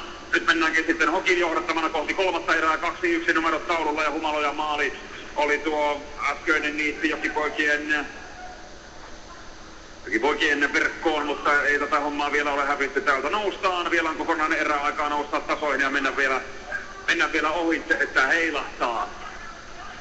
Neljään vuoteen täällä Kajaanissa ei siis ole jokipojat voittanut, mutta toivotaan, että tänään tuo aika murtuisi. 2-1 johtaa kuitenkin hokki tätä kamppailua tällä hetkellä. Se edellinen voitto tuli silloin, kun Vancouverin olympialaisia käytiin, ja silloin loppunumerot olivat 4-5. Ja sitten jälleen pitkä kiekko ja uusi aloitus hokin alueelle. Tämä Humaloja ponnisti aikoinaan Pyhäjärveltä Hokin juniorijoukkueeseen kaksi edelliskautta pelasi Messissä Hokissa. Molemmat edelliskaudet 4 plus 7 tehopisteet tällä kaudella on parantanut huomattavasti 7 plus 20 ovat nyt humalojan tehot. Ja kun täällä on Ranskasta kokemusta siis totta kai näillä hokiranskalaisilla sitten jälleen kiekon menetys keskialueella Koistiselta ja siitä meinaa päästä Antti Kurkinen ja jonkinnäköiseen läpihajoon, mutta onneksi sitten tuo tilanne katsotaan katsotaan rikkeen arvoiseksi ja ajassa 38-46 peli katko. Niin, kokemusta Ranskassa löytyy jokipojiltakin Miro Rahkolalta, joka viime kaudella pelasi Rackart de Prainin joukkueessa, mutta joukkue putosi ykkös, tai Ranskan ykkösliigasta sitten divisioonaan ja näin Rahkolakin palasi takaisin Suomeen. Tällä kaudella ei kuitenkaan maaleja vielä Rahkolalla. Liikakokemusta häneltä löytyy 18 pelin kerran Porin Nässistä. En tiedä osaako Rahkola ranskaa, mutta sen verran kauanhan siellä viestiä, että jokunen sana varmasti tarttunut. Hokki pitää kiekkoa nyt omalla alueellaan. Minuutin jäljellä ottelun toista erää ja vielä tässä ehtisi sen tasoitusmaalin käydä tekemässä. Tekisi ihan poikaa kyllä tähän paikkaan. Numerot taululla ovat 2-1. Hokki johtaa taistoa ja nyt tulee Hokki uudestaan. Vasemmalta lähtee laukaus. Ampujana oli tällä kertaa Timo Hiltunen, mutta Spence ei joudu sinä edes todeta töihin, kun menee ohi se maalista. Nyt keskialueella ja kyllä Hokki tällä hetkellä vie tätä peliä. Se on sanottavaa. Puoli minuuttia jäljellä ja se johtaa tätä ottelua yhden maalin turvin 2-1. Eikonen avaa ylöspäin puustissa Hakien Vilkois mukana menossa, samoin Sameko tässä hyökkäyksessä ja sitten kiekko keskialueelle ja seuraavaksi sieltä löytyy Hiltunen ja Hiltunen laukoo ja Spence torjuu takaisin Hiltuselle kiekon maalin taakse Humalojalle ja sitten pelataan Viisalle. Hirvittävää pystyy. Kolme yksi. Ihan tähän erään loppuun ei voi mitään. Aivan käsittämätön. Mörssäri puhuu sieltä siniviivalta ja me yksi numero taululla. Jarkko Heikkinen ampuu noin 150 kilometriä tunnissa ja siinä meinaa verkkokin mennä rikki maalista, kun jälleen tuo sama yläkulma heilahtaa ja 3-1 ovat numerot taululla. Jarkko Heikkinen maalitti hänelle kauden seitsemäs maali ja Hokki johtaa nyt 1-2 yllättäen kahden maalin turvin tätä taistoa. Avauserä päättyy Jokipojille 0-1, mutta toisessa erässä Hokki on käynyt tekemässä kolme maalia. Teemu Virtala alivoimalla toi tasoihin sitten Miska Humaloja Mitka Humaloja on vastahyökkäyksestä kahteen yhteen ja Jarkko Heikkinen pyssytti sitten viivalta kolmeen yhteen. Ja enää muuta on pelaamaan ottelun toista erää ja näin soi sitten summeri ja lähdemme erätauolle ajassa 40.00 ilmeisesti kiva Jaakoselle vielä sitten tunti pelattava ottelun toista erää ei jää, vaan summeri soi. Ja torjunnat ottelun toisesta erästä molemmille sekä rojuntaa. Voi voi sentään, Bastian Sissa, kun alivoimalla Teemu Virtala pääsi tasoittamaan yhteen yhteen ja sen jälkeen Hokki onkin tätä peliä vienyt ja johtaa kamppailua nyt 3-1, kun yksi erä on pelaamatta. Ja Täällä on kolmas erä hetken päästä käynnistymässä. Numerot taululla ovat siis kääntyneet. Avauserän jälkeen Jokipojat johti 0-1, mutta toisessa erässä maalinteosta vastasi Hokki ja näin 3-1 ovat 40 peliminuutin jälkeen numerot taululla. Aivan tuohon toisen erän loppuun Hokin puolustaja Jarkko Heikkinen ampui siniviivalta kolmannen osuman. Heikkiselle se oli seitsemäs maali tällä kaudella ja hän on todellakin taitaa olla Mestiksen kokeneimpia pelaajia, että kaikkein kokenein Mestispelejä löytyy noin 460 peliä hänelle pelattuna ja hän on suoranainen elävä legenda täällä Kajaanista jo Suomessa lähtöisin ja Hokissa aloitti kakkostivarissa jo syksyllä 98 tuolloin noin parikymppisenä nuorukaisena. Parhaalla kaudellaan 2007-2008 Heikkinen teki 8 maalia ja 25 syöttöpistettä, viime kaudella 4 maalia ja tänä vuonna siis seitsemän maalia. Eli kyllä jaksaa edelleen vanha painaa ja ei ikään näy kyllä tuolla kaukalossa millään lailla Heikkisen otteessa. Ja äskenkin kun hän kiekkoon pääsi käsiksi sinne viivalla, niin sieltä lähti kyllä sellainen pyssy, että ei siihen mahtanut niin edes yhtään mitään. Tarkka kuti upposi sinne ylälauteille ja näin 3-1 ovat numerot taululla. Valitettavasti se tuli ihan siihen toisen erän loppuun ja 3-1 siis taululla ja jokipojat pistuu lähtemään melkoisesta takaa jo asemasta ottelun kolmanteen erään. Mutta toivotaan ruisketta ja vaikkapa sitten nämä maalia kautta paria ihan vähän kolmannen erän alkuun. Kyllä tässä vielä jännitysnäytelmä aikaiseksi saadaan ne varsinainen sellainen, että tähän asti on ollutkin. Kenen maalin tei, teki Jakub Sramnik ylivoimalla ottelun avauserässä ja Teemu Virtala sitten Hokin pelaajista tasoitti alivoimalla toisessa erässä. Miska Huppalihan maalia pitkään tutkittiin, mutta sitten se hyväksyttiin ja 2-1 numeroissa mentiin pitkään ennen kuin Heikkinen sitten lopulta tuo 3-1 osuman ajassa 39-47. Ja nyt sitten kolmanteen erään. Jokipoikien maalisulla jatkaa Daniel Spence aloitukseen kyristyy Mikael Ruohomaa. Ja hän saa vastaansa Hoki hyökkäjistä 2-1 osuman tehneen Miska Humalojan jonka laidoilla pelaavat Mika Koivisto ja Jevgeni Fofanov. Jokipojat ottaa aloitusvoiton ja varsinkin tuolla hyökkäyspäässä Jokipojat on kyllä noita kaksi kampparoja tänään hyvällä prosentilla voittanut, mutta puolustuspäässä haparoidaan jatkuvasti ja sitten noita harha syöttäjäkin vielä tulee. Kiekko pomppii nyt sinne kulmaukseen Hokin alueella, siitä pääsee kuitenkin kotijoukkojen vasta iskun järjestämään. Koivisto tulee oikealta Fofanov keskeltä, sitten otetaan pojilta kiekko pois ja näin avaa Aleksi Elorinen ylöspäin nyt keskialueelle. Pelin puuttuu nyt Arttu Heikkinen, Evan, äh, anteeksi, hän oli Matu Visvari, joka puuttui peliin. Visvari toimittaa nyt äh, ylöspäin. Arttu Heikkinen, hän ei tänään näe kokoonpanossa hokin pelaajista ole. Hän on yksi heidän tehokkaampia pelimpiään, mutta ei tänään äh, syystä tai toisesta sitten kokoonpanossa mukana ole. Teemu Virtalan johtama orkesteri tulee nyt Keivon kanssa Jokipoikien alueelle, mutta sieltä Jokipojat onnistuu tilanteen purkamaan. Siis toimitetaan Hokin laatikkoon ja Juuso Taimaa menee pitkän perään. Elvis Pietsaa siinä kulmauksessa, saa kiekon käsinsä laukoo, Seppänen torjuu ja kiekko jää hänen hanskaansa, jossa 41.06 torjunta, uusi aloitus Hokin alueelta. Muissa kamppailuissa pelitot johtaa Kiekkovantaalta 2-0, KK Jupakatemia on 3-0 numeroissa, HCK Sporot 3-4 ja Sappo johtaa Jukureita 2-1, eli siellä ovat nämä häntäpään joukkueet nyt pisteitä keräämässä sekä Sappo että Leki ovat nousemassa Jypakatemiaan, anteeksi Sappo että pelitot ovat nousemassa Jypakatemiaan nyt vähemmäksi, mikäli näistä numeroista mennään, niin vielä saadaan aika tiukka kamppailu siitä, että mitkä ovat ne kaksi joukkuetta, jotka ovat joutuvat runkosarjasta karsinta sarjaan ja karsimaan paikastaan Messiksessä tämän kauden päätteet yksi joukkuehan tulee tippumaan sitten Suomi-sarjaan ensi kaudeksi. Myöskin sen joukkueen määrä tippuu 11.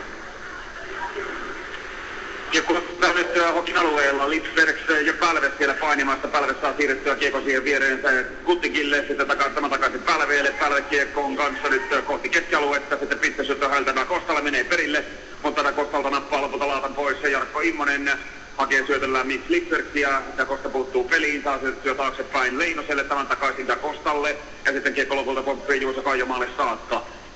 Kaksi minuuttia suurin piirtein pelattu ottelun kolmatta erää, 3-1 numero taululla, Pietsaa Kiekon kanssa äh, maatikkoon, Kaijomaa menee siinä rinnalla, ja sitten maalin taakse, siellä Kaijomaalta otetaan kiekko pois, Lipsbergs keskialueella kiekko häneltä pois ja Karppinen pääsee nyt vastaiskuun ja Karppinen tulee Kiekon kanssa aina Jokipoikien alueelle saakka. Lopulta Matti Koistinen puuttuu peliin oman maalin takana. Antti Purkinen siellä myös mukana menossa ja näin siellä sitten äh, Jokipoikien maalin ollaan. Purkinen äh, saa soitettua siihen viereensä sitten jonkinnäköinen tilanteen poikanenkin saada rakennetuksia Hokin toimesta sinne maalin kulmalle, mutta Spence torjuu tämän ja kiekko puretaan Hokin alueelle saakka ja sehän menee pitkäksi kiekoksi. Näin on aloitus Jokipoikien alueella ajasta 42-21 nopeasti pitäisi tulla nyt se kavennusmaali kyllä Jokipojalle, jos tässä nyt äh, oikein teholla aiotaan taistella pisteistä tänään. Sitten jos äh, kolmasena ylittää puolivälin teho edelleen johtaa kahdelle maalilla, niin se on kyllä se joukkue, joka varmasti osaa tuon johtoaseman puolustaa ja pitää ja tappaa pelin. Silloin sitä on aika vaikea enää itse nousta. Ja on se totta kai tosi vaikea tälläkin hetkellä. Raimons Vilkois tulee Kiekon kanssa Hokin alueelle. Vilkois Kuustinen ja mukana menossa myöskin Jakub Samekke. Vilkoit häntä sitoo laitaa vasten Santari, mutta Vilkoit saa pelattua sinne maalin taakse Puustinen kiekko sieltä hakemaan, mutta ei pääse siihen käsiksi. Vaan Clemens Unterweger Itävaltalaiset puolustaja nappaa niin itsellensä. Viisi maalia tällä kaudella Unterwegerillä tehtynä. Hän on 21-vuotias vasta, pelasi edelliskaudet Itävallasta Grats 99 Itävallan pääsarjaa viime kaudella 40 peliä siellä, mutta ei teho pisteitä kuitenkin. Juniorijoukkueessa aika hyvät tehot. Ja nyt Unterweger tuo kiekkoa ylöspäin, mutta siniviiva Ilmiöllä jokin vaikka takkaa se homman, jossa toimitetaan pelivälinen lopulta Hokin alueelle. Sanek tulee karvaamaan syvälle sinne Hokin alueelle. Näinpä muuten ehkä vuoden ensimmäisen taklauksen Jakub Samekilta, tai ainakin taklauksen puolikas. Yleensä hän ei tuollaisiin temppuihin sorru, kun ei tuota kokoa ole hirvittävästi kaverille suotu. Vauhtia riittää kyllä sitäkin enemmän sitten. Hokki tuo kiekon uh, Jokipoikien alueelle.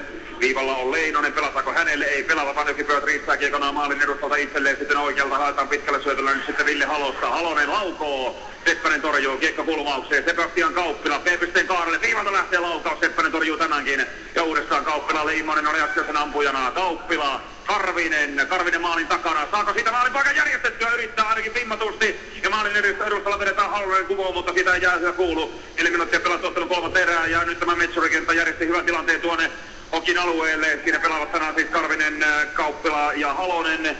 Ja ihan hyvä pommitusta tulikin, mutta Seppänen kesti tämän kaiken. Ja nyt sitten tullaan uudestaan ykköskentän toimesta. Ruohomaa menee keskellä, Blomqvist vasemmalla, Niva oikealla, Vispari ja Niva ovat painimassa kulmauksesta ja lopulta Ruohomaa käy hakemassa vasemmassa kulmauksessa kiekon itselleen. Sitten Jarkko Heikkinen, 3-1 maalin tekijä, ottaa pelipelinen itselleen. lähtee tulemaan keskeltä syöttö rännin kautta nyt sinne Jokipoikin alueelle, jossa se Daniel Spes maalin takana. Avaa, avaa aika aika uhka rohkeasti menee nimittäin suoraan Hokkipelaajan maiden lapana, sieltä lähtee laukaus saman tien, mutta Spence onnistuu tämän vielä torjumaan. Kiekko pomppii kulmaa, jos Blomqvist siihen kiinni. Blomqvist saa pelattua Alex Elorinteelle. Ja Elorinen lähtee nyt tulemaan vasenta laittaa pitkin, koittaa syöttää Ruohomaalle, mutta kiekko karkaa aina Kasper Santaselle saakka ja Santanen peruttelee omalle alueelle. Santanen puolustaja avaa ylöspäin, mutta syöttö menee suoraan Esa Hikoiselle. Nyt jokipoilta hyvä asta isku Blomqvist, Ruohomaa! Ja Seppänen pudottaa kiekko tornan jälkeen eteensä, mutta siihen ei pääse kuitenkaan Pietsaas jatkamaan. Ja nyt kyllä Seppäseltä kiekot karkaavat noiden torjuntojen jälkeen aikamoisella prosentilla ja nyt sitten näytetään pelikatkoa ajasta 45.00. Oli se nyt sitten paitsi, vaan siinä oli kysymys kyllä ilmeisesti, kun tuohon siniviivalle mutta näitä laukkauksia, kun vaan laitetaan kohti Seppästä tulemaan, niin niitä irtokiekkoja jää poimittavasti siihen hänen eteensä. Niihin pitää vaan sitten syöksyä kimppuun ja olla valmiina ottamassa niitä kiekkoja sieltä Seppäsen maalin edustalta pois. Kiekko, kiekko on nyt jokipojilla omalla alueella. Pietsais, Dikis, Ehikoinen ja sitten Pietsaisille tämä puolestaan vasempaan laittaa Miksille. Latvian kielestä siellä kaikuvat Lipser hakeutumaan, niin lauppaa Seppänen torjuu. Kiekko pomppii aina Unterwegerille saakka. Tämä lähtee tulemaan oikealta. Johonkin vasta iskuu Unterweger. Kiekko kulmauksessa seuraavaksi. Tämä löytää Karppisen nyt sitten ja sitten pelataan maalin taakse seuraavaksi. Kurkinen. Kiekko pomppii kulmaan. Viivalta haetaan Leinosta. Ikis puolustuksessa partioimassa koittaa kiekko käsiksi ei tästä onnistu Kiekko pomppii oikean kulmaan, Hokki saanut sitä kuvion järjestyksiä aikaiseksi. Karppinen jättää takaisin se kulmaan sitä maalin taakse ja siellä on kiekko hakemassa nyt Edgar Kiste. Ja jättää aina Esa Lehikoiselle saakka. tuossa minuuttia pelaamatta ottelun kolmat erään taululla ovat 3-1. Tätä taistoa johtaa Kajaanin hokkia. Vastassa on siis Joensuun jokipohjasta. Kestiksen runkosarjan ottelua numero 50 mennään tässä. Vielä kuusi ottelua pelaamatta jälkeen tätä kautta ja sitten mennään playoffseihin. Vilkois ei tätä puhallusta sulata, mutta pitkäksi kierroksiko se nyt sitten merkittiin kyllä vain ja näin kiekko tuodaan aina jokin poikien alueelle saakka. Ja 13.46 pelikellossa vielä sen verran armon aikaa jokipojilla tehdä vähintään kaksi maalia ja viedä tämän ottelun ratkaisi jatkoajalle. Parempi tietysti, että tehtäisiin kolme maalia ja otettaisiin kolmen pisteen voitto. Eikö se kovinkaan todennäköiseltä ainakaan tässä vaiheessa vaikuta, mutta kaikkihan on jääkiekossa mahdollista. Tekihän hokkikin kolmesta ja toiseen erään nyt tulee Samet keskeltä. Hakee siitä Kuussisen syötöstä kiekkoa itsellensä ja siitä lähtee sitten koukkaamisjäähylle. Janne Pälve ja näin pääsee jokipojat ylivoimalle. Kalver rusikoi Ramekkia siellä Hokin puolustusalueella ja näin äh, hänet ohjataan istunnolle. Ja jokipojat pääsee siitä kokeilemaan ylivoimasta tehokkuutta. Yksi ylivoiman maali tänään on tehtykin ja sen tekijänä oli nimenomaan joku Samekottelun avauserässä. Ja ylivoimaa pelaamaan äh, Mikael Ruohomaa, Otto Tarvinen, Jarkko Immonen, Sami Blomqvist ja Esa Lehikoinen. Ja näin viivo pidetään kiinni aloituksen jälkeen Kiekko Pepistä päälle Mikko Ruohomaalle, Ruohomaa jättää sinne kulmauksen Otto Karviselle, Karvinen takaisin Ruohomaalle. Saaplat oman edustajalle, saako sittenkään, ei saa vaan Tuomasti puolustaja Vispari purkaa Kiekon keskialueen aina jokipoikien alueelle saakka. Ai ai ai, nyt on Spence muuten, nyt on Spence rähmällään siellä maalinsa takana. Vähän rohkeasti lähti Kiekon kanssa pyörimään sinne, mutta onneksi Hokki sitä ativoimalla kuitenkaan paikkaa järjestykseen. Nyt menee puolestaan puolestaan Vispari kumoon keskialueella ja nyt kyllä Spence, Spence leikki vähän liiankin uhkarohkea, siellä takana hän lähti kiekkoa sieltä hakemaan, menee kumoon ja Hokki sai siinä kiekon käsinsä, mutta eivät kuitenkaan maalipaikalle päässeet alivoimalla. Karvinen tulee Kiekon kanssa yläkertaa ruohomaan. Siellä myöskin nyt on Seppänen haparoimassa Kiekon kanssa maalinsa edustalla, mutta pitää kuitenkin, pitää kuitenkin länget kiinni sillä lailla, että sieltä se ei pääse pomppimaan verkon perukolle asti. 3-1 numero taululla minuutti 10 sekuntia päivän jäässä jäljellä ja edelleen jatkuu jokipoikien ylivoima ja uusi aloitus Seppäsen tornen myötä Hokkin alueelta. Kyllä tässä nyt paikkoja satelee itse asiassa kummallekin joukkueelle ihan kaiken aikaa. Maalivahdeille ei ollut ihan paras äskeinen minuutti. Ensin ei Spenselle ja sen jälkeen ei Seppäselle. Ja uusi yritys. Ruohomaa voittaa aloituksen, pelataan viivalle Lehikoiselle, tämä takaisin Ruohomaalle, tämä takaisin Lehikoiselle, Versan Blomqvist Lehikoinen, Ruohomaa, pojat pallottelevat keskenään. Blomqvist laukoo ja kiekko pomppii suoraan Seppäsen mailan lavan kautta räpylään. Ja näin sitten Vielä kerran tämä ylivoima saa kokeilla. Ruohomaa uuteen aloitukseen, Puttik vastaan. Jokipojat ottaa, kun ottaakin aloitusvoiton siitä, vaikka vaikeaksi menee. Ja viiva pidetään kiinni. Ai ai, pidetäänkö sittenkään? Ei. Vaan Blomqvistilta kiekko karkkaa. Ja nyt minä päästä läpi ajoon sitten Pitkänen, mutta onneksi kuitenkin äh, Spence tulee vastaan. Kiekko saa käsinsä ja sitten Karvisen, Karvisen lähdetään tulemaan vielä ylöspäin. Karvinen rusikoi kiekon hokin alueelle. Ruohomaa mukana menossa. Kiekko pomppii maalin taakse. Ruo, Ruohomaa kulmauksesta sitä hakemaan. Karvinen tulee tueksi. Ruohomaa, Karvinen ja nyt äh, Ruohomaan pelintekijän paikalla vielä puoli minuuttia jäljellä ylivoimaa. Ruohomaa, sitten pelataan viivalle, Blomqvist takaisin Ruohomaalle. Ruohomaa Blomqvistille ja nyt laulastamista huo, mutta ei. Suoraan päin puolustusta ja kiekko pomppii keskialueelle ja vielä pääsee yrittämään Immonen. Ja tämä ylivoima on ollut koko kaksi minuuttia tuolla kaukalossa. Muille ei ole annettu mahdollisuutta edessä. Sitten Ruohomaa siinä siniviivalla. Ja näin hokkipelaaja Pälve on pikkuhiljaa pääsemässä rangaistusaitiosta pois ja näin nämä numerot säilyvät kolmesta yhdestä tuonkin ylivoiman jälkeen ja edelleen Ruohomaa kaukalossa. Hän on ollut siellä nyt kaksi ja puoli minuuttia putkeen ja nyt Akki tulee vasta iskuun ja eikö hän alkaa olla aika vaihtaa jo kavereita siellä kaukalossa. Spensen torjunnan myötä tulee aloitus jokipoikien alueelle. Ja nyt alkaa, nyt alkaa sitten jalassa painaa jo tällä Ruohomaan ylivoimakentällisellä, joka on edellistä kaksi ja puoli minuuttia siellä jäällä ja lähti hokki vasta iskuun. Ja vielä tilanteenkin järjestetyksi tuore Spensen maalin suulle, mutta tämä torjui.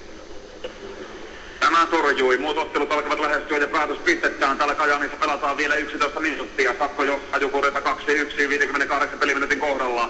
HCK Sport 4-6. Pelita Kiekko Vantaa 2-0. KK Jyp Akatemia 3-0. Siinä tämän hetken tilanteet. Ja uusi aloitus koittaa nyt sitten seuraavaksi Spencer Tornan myötä jokipoikien alueelta. Numerot ovat siis 3-1, 11,5 minuuttia pelaamatta. Daniel Spence, joka torjuntaprosentti on tältä kaudelta hieno, 92,20. Hän on yksi Mertiksen äh, torjuntaprosentilla mitattuna parhaita maalivahteja. Maalivahtivalmentamme Juha Lehtolan löytö tuolta Kanadasta, 25-vuotias Spence on ja oikein hyvä, oikein hyvä mokkia tällä kaudella on hyviä otteita esittänyt maalin suulla. Vähän kuuma luonteinen tosi, mutta eihän se mikään haitta ole, jos ei liian, liialliseksi aggressiivisuudeksi vain se muutu. Lipsberg lähtee tulemaan vasemmalta, mukana hyökkäyksessä Pietsais, ja sitten se menee paitsioksi. Pojat eivät jälleen lukeneet oikein toisiaan, ja näin, näin siinä sitten paitsio jo rynnistettiin, ja 11 minuuttia pelaamatta uutta ukkoa jäälle, ja uusi aloitus Hokin siniviivalta.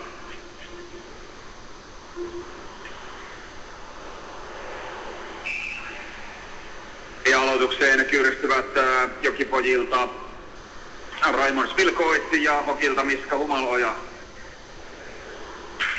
Kiekko putoaa jäähän, jokipojat saa sitä kaidettua itsellensä. Ramek avaa taaksepäin Koistiselle tämän rännin kautta sinne maalin taakse. Hokki puuttuu peliin.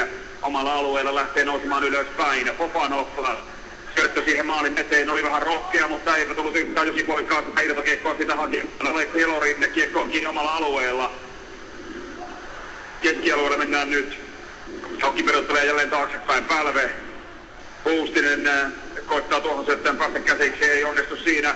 Popanos tulee Kiekon kanssa jokipoikien alueelle. Ja nyt on tulossa rangaistus ja se on tulossa jokipoikien pelaajalle. Valitettavasti Hokki tästä ylivoimalle ja pääsee sinne ajassa 49-29 uusi aloitus. Ja se vihelletään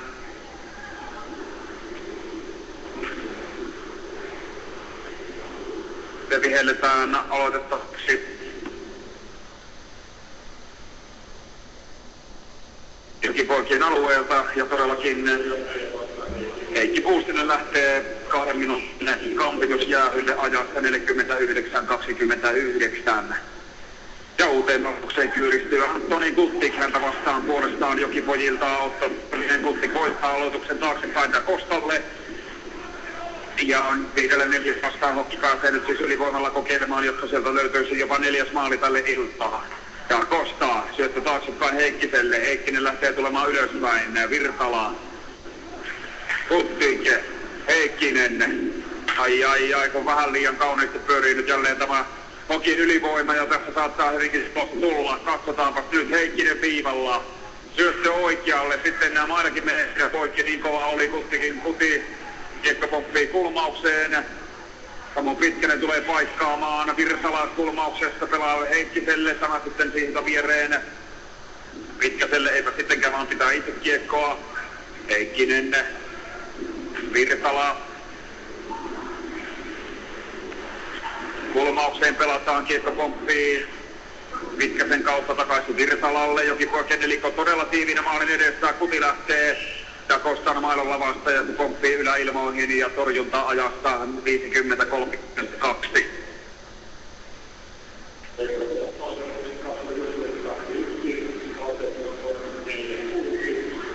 Ja uuteen aloitukseen syydistetään nyt sitten jokipoikien alueella ja ylivoimaa pelaa siis hokki. Jokipoikien pitäisi nyt alivoimalla tämä ehdottomasti kestää tämä homma, nimittäin jos hokki karkaa 4-1 johtoon, niin alkaisi olla jo puolinisku tälle kamppailulle. Heikkinen Eivan Iskakangas on tullut pelaamaan. Ja aika lähellä on, että ei mene, mutta taitaa sinne maaliviivalle käydä tuon Iskakankaan veto. Penseltä se tippuu siihen Arapelaturnan jälkeen maalin eteen se kiekko, mutta hän saa siitä vielä torjunnan kuitenkin.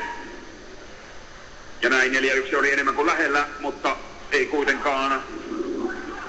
Ja siitä sitten avataan keskialoille seuraavaksi. Sieltä lähtee hokki jälleen tulemaan pitkänen vasemmalta. Humaloja mukana menossa. Pitkänen nyt maalin takana. Jokipoikien alivoiman nelikko sen maalin edustalla. Ja sitten päästään katkaisemaan tuo laukausyritys. Niskakangas vetää uudestaan ja sitten Immonen purkaa. Immonen purkaa kylmän viileästi ja vielä 10 sekuntia puolustuksen jäähyä istuttavana ja ei tässä hokki enää ylivoiman maalia tee, nimittäin se joutuu hakemaan kiekon omalta alueelta. Pietsais Kaijomaa tulevat ylöspäin. Kaijomaa kiekossa kiinni, sitten jätetään siihen viivalle seuraavaksi.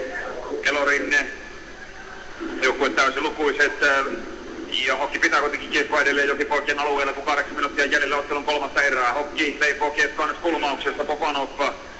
Ja sitten ylöspäin lähdetään tulemaan jokipoikien toimesta, kun kiekko on riistetty. Pietsais törmää kuitenkin Slovakki puolustaja Visvaniin. Ja näin joutuu peruttelemaan taaksepäin. Kiekko vasempaan laittaa Lisbergsille. Kaijomaa luistelee sinne maalin taakse hakemaan pelivälineitä itselleen yhdessä Pietsaisin kanssa, mutta Hokin puolustus on onnistunut tämän tilanteen ja purkamaan ja avaamaan pelin tuonne jokipoikien alueelle saakka. Ja sieltä lähtee sitten Lisbergs poimimaan pelivälinettä uudestaan. Tulee nyt sitten keskeltä syöttö siihen viereen Kaijomaalle ja katsotaanpa mitä tässä kuviossa tulee. Lisbergs laukoo ja kiekko pomppii Veli-Antti Leinosen mailan lavasta aina tuonne yläilmoihin saakka. Ja 7,5 minuuttia pelaamatta ottelun kolmatta erää. Numero taululla 3-1, kotijoukkue Hokki johtaa ja on ottamassa kolmea pistettä tästä. Jokipojat puolestaan tällä tuloksella jäisi jo kuusi pistettä Hokin junasta ja se tietäisi kyllä sitä, että saa, saa rahittaa hyvästi se kotiedulle playoffseissa, jos tämä peli hävitään. Sen verran pitkä matka alkaa jo olla. Vaikka HCK tänään häviäisikin, niin enää kuusi, kuusi peliä aikaa kirjat tuota kahdeksan pisteen rakoa umpeen. Ja kyllä, kyllä taitaa olla vähän liian vaikea tehtävä.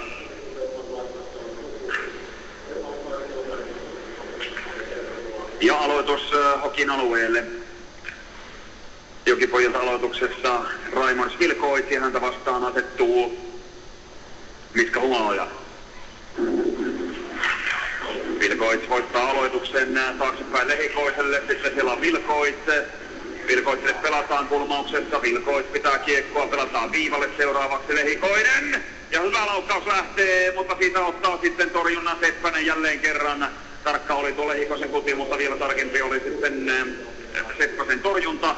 Ja näin uusi aloitus Hokin alueelta ajassa 52-35.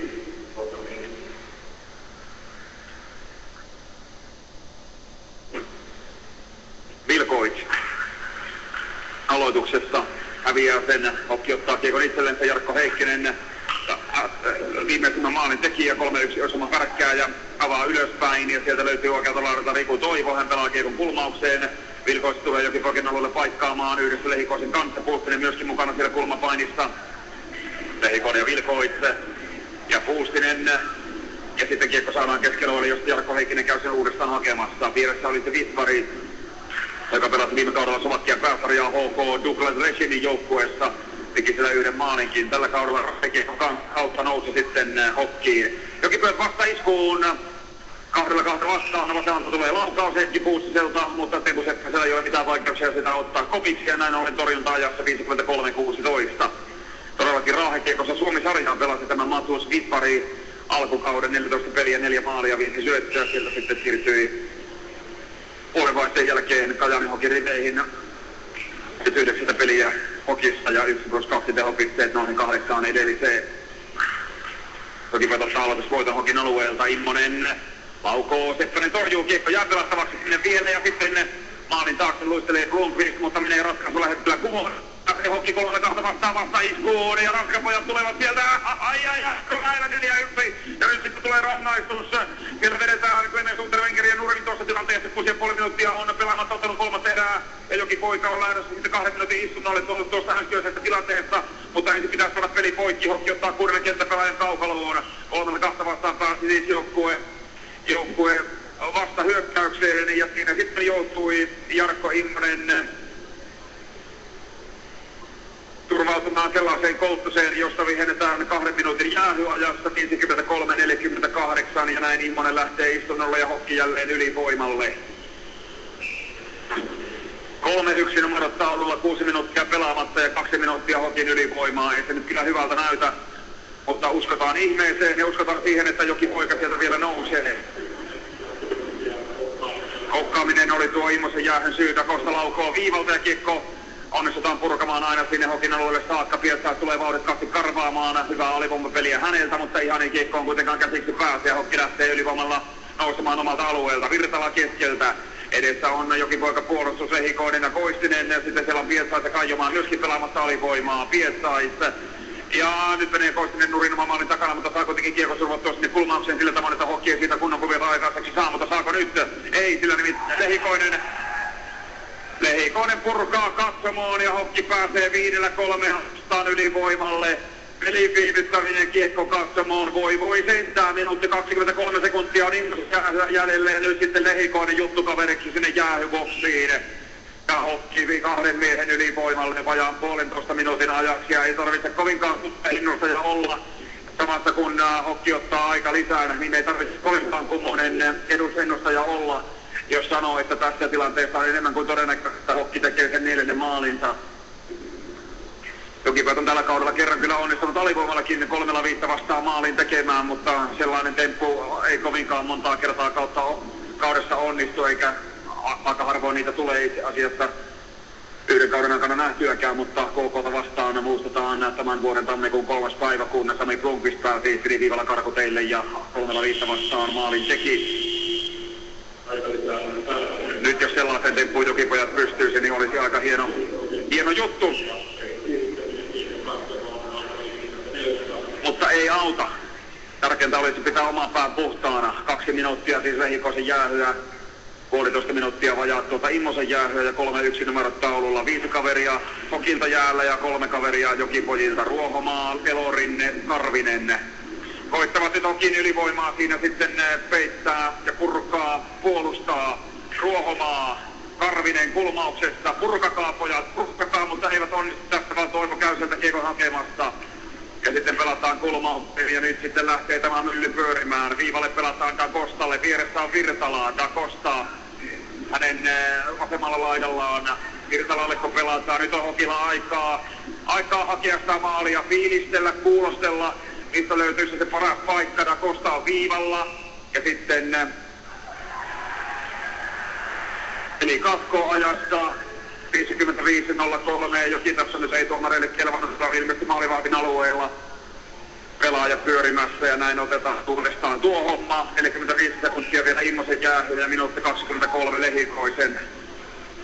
Ja aloitus tuotaan jokin poikien viivalle. Kuttik vastaan Ruohomaa ja siitä olisi Keskellä Ruohomaan aloitusvoitto ottaa, mutta ei ota, vaan Kuttik voittaa sen ja pelaa taaksepäin ja Dakosta oikealla ja Dakosta rännin kautta avaa vasen ja Niskarangas on siellä kiekkoja hakemassa. Ruohomaa ajaa häntä laitaa vasten, ei saa kiekkoa sisään. Tokki pitää nyt pelivälinettä hallinnassa pyörittää ylivoimaa aivan miten tahtoo tällä hetkellä. Dakosta ampuu, ei ammu, pelaa kulmaukseen. Dakosta vieressä on Virtala, hänelle pelataan Ruohomaa pääsee katkaisemaan siitä, pääseekö alivoimalle jonkinnäköisen rynnistys, se pääsee! Ruohomaa oikea laittaa pitkin, mutta ei kuitenkaan maalinteko paikalle sentään pääse. Ruohomaa pitää kiekkoja aivan loistavaa alivoiman pelaamista häneltä. Ja sitten estämisestä lähtee jäähylle ajassa 55, 30 Hokin Teemu Virtala. Näin kumpikin päivät olivat vastakkain siellä vaihtoaitioiden edustalla ja Virtala joutuu siitä sitten tällaiseen koiruuteen turvautumaan ja näin neljällä kolmea vastaan pelannut sitten 11 sekuntia vielä hokki. Sen jälkeen mennään neljälle neljää vastaan hetki. Jokipojat pääsee yllättäen ylivoimalle. Hienoa alivoimapelaamista Mikael Ruohomaa. 10 pistettä ja papuka ja merkki tuosta äskeisestä suorituksesta. Hän meinasi päästä kolmella pistettä vastaan läpi ajoon. Ja sitten saa siinä hankittua vielä kotijoukkueelle jäähyn. Ja näin sitten pitää kestää tämä homma vielä hetken päästä ollaan neljälle neljää vastaan. Ja sitten pääsee jokipojat vielä ylivoimalla kokeilemaan. Ei tämä nyt ihan mahdottomalta sentään vaikuta, vaikka aikamoista onnenkantamoistakin tämä nyt vielä tietysti vaatii, että täältä pisteelle noustaisiin, mutta kolmella viitta vastaan kestettiin kuitenkin upeasti tuo homma. 3-1 numero taululla, neljä minuuttia jäljellä ottelun kolmatta erää. Nyt mennään tasan nelikoin. Hetken päästä tulee sieltä Lehikoinenkin jäälle ja sitten päästään viidelle neljää vastaan ylivoimalla kokeilemaan. Laukaus tulee oikealta. Spence torjuu. Kajomaa kaivaa kiekon kulmauksesta. Ja Kajomaa lähtee tulemaan. 15 sekuntia Lehikoisen jäähyä jäljellä. Sitten päästään ylivoimalle. Jossain vaiheessa jo kypät aivan varmasti ottaa Spence maalin sulta pois. Laukaus tulee. Asettaa ei se kovin kauaksi menee. Seppänen ei sinne kuitenkaan joudu torjumaankaan. Se menee tuolla vasemmalta puolelta ohitse. Kiekko kulmassa Elorinteen. Nyt jokipojat pääsee ylivoimalle.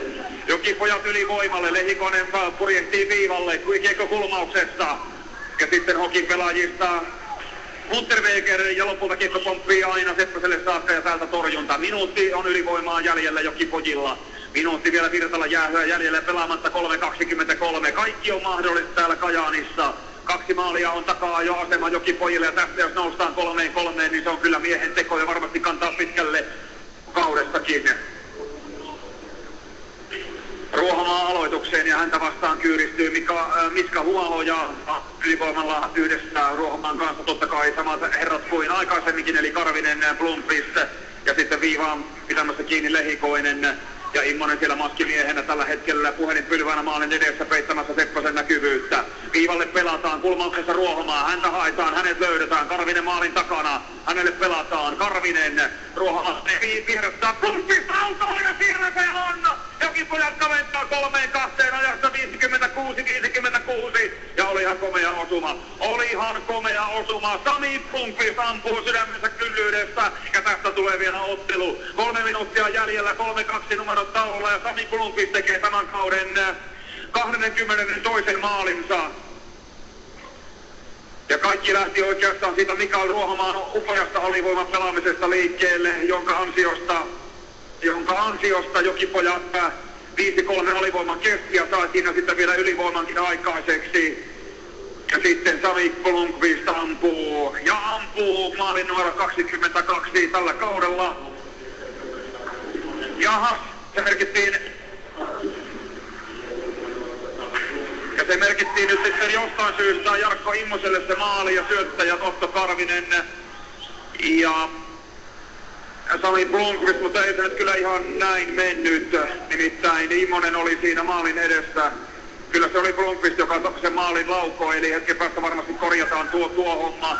Immonen oli siellä maskimiehenä, hän saattoi tietysti kiekkoon koskea viimeiseksi. No kohta se kuullaan. Kaksi ja puoli minuuttia jäljellä. Kohta lähtee Spence maalin sulta pois ja aivan varmasti se oli Blomqvist, joka tuon maalin teki. Hänelle se pitää vielä siinä jossain vaiheessa muuttaa. Siinä Karvinen ja Immonen Ruohomaa olivat kyllä mukana menossa ja kuullaan ne syöttäjätkin sitten hetken kuluttua siihen, mutta todellakin nämä Sami Blomqvisten maalin teki. Hän on syntynyt Ruotsissa Örnsköldsvikissä 90 Espoon jäähongan kasvattaja. Ensimmäisen pelinsä pelasi Bluesissa 0708. Sitten kaksi kautta pelikanssissa, josta kävi lainalla muun muassa Sportissa seitsemän pelin verran. Viime kausi lähti käyntiin Tanskan Herningissä, siirtyi sitten kesken kauden jokipoikiin seitsemän peliin, 7 plus 5 tehopisteet. Ja liigassa on uh, tehnyt 12 maalia 94 peliin tämä lahjakas uh, hyökkääjä. Kaksi minuuttia jäljellä ottelun kolmatta erää. Hokki purkaa keskialueelle, josta käy Ruohomaa kiekon hakemassa. Jättää taaksepäin Immoselle. 3-2 numerot taululla. Ja jokipojat hakee vimmatusti tasoitusmaalia. Immonen kiekko on kiinni kulmauksessa. Kaksi minuuttia pelaamatta ja tästä nyt jos noustaan vielä tasan tilanteeseen, niin kylläpä olisi uroteko ja Blomqvist ampuu ja jälleen Seppänen tiputtaa kiekon eteensä. Mutta sen käy hän nyt sitten itse poimimassa siitä nyt näitä laukauksia vain kohti Seppästä, kun kerran irtomartioita tulee tulevan äh, tuntuu tulevan siihen eteen. Ja sitten jonkun pitää vain käydä sitten sieltä tyrkkäämässä verkon perukoille. Minuutti 51 pelaamatta ottelun kolmatta erää, 3-2 taululla. Vielä ei Spence lähde, lähde maalin suulta pois. Ja sitten äh, Hokki onnistuu jokipoikien hyökkäyksen purkamaan. Ja näin sieltä tuota Kosta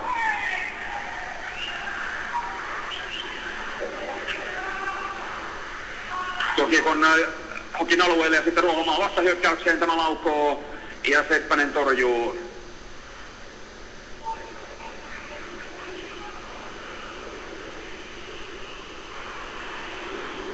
Puolitoista minuuttia. On pelaamatta ottelun kolmatta erää. 3-2 numerot taululla. Jokipojat hakee tässä nyt tasoitusosumaa. Ja aloitukseen kyyristyneenä ovat Kaijomaa, Niva. Milläs koostumuksella tätä nyt oikein pelataan? Siellä on Kaijomaa, Niva, Pietsa, tällainen kenttä. Ja sitten pakkiparina Koistinen, Elorinne.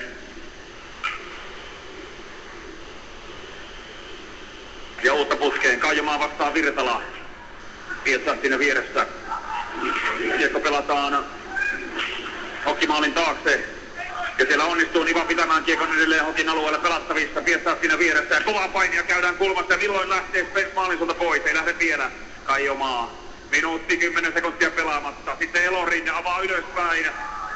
Avaa ylöspäin ja siinä juuri kun oli pääsemässä Piestää kiekkoon käsiksi, niin hänet vedetään kumoon. Ja näin se ei mene pitkäksi kiekoksi. Ja sitten kiekko keskialueelle seuraavaksi. Kaijomaa vasempaan laitaan. Pietsais.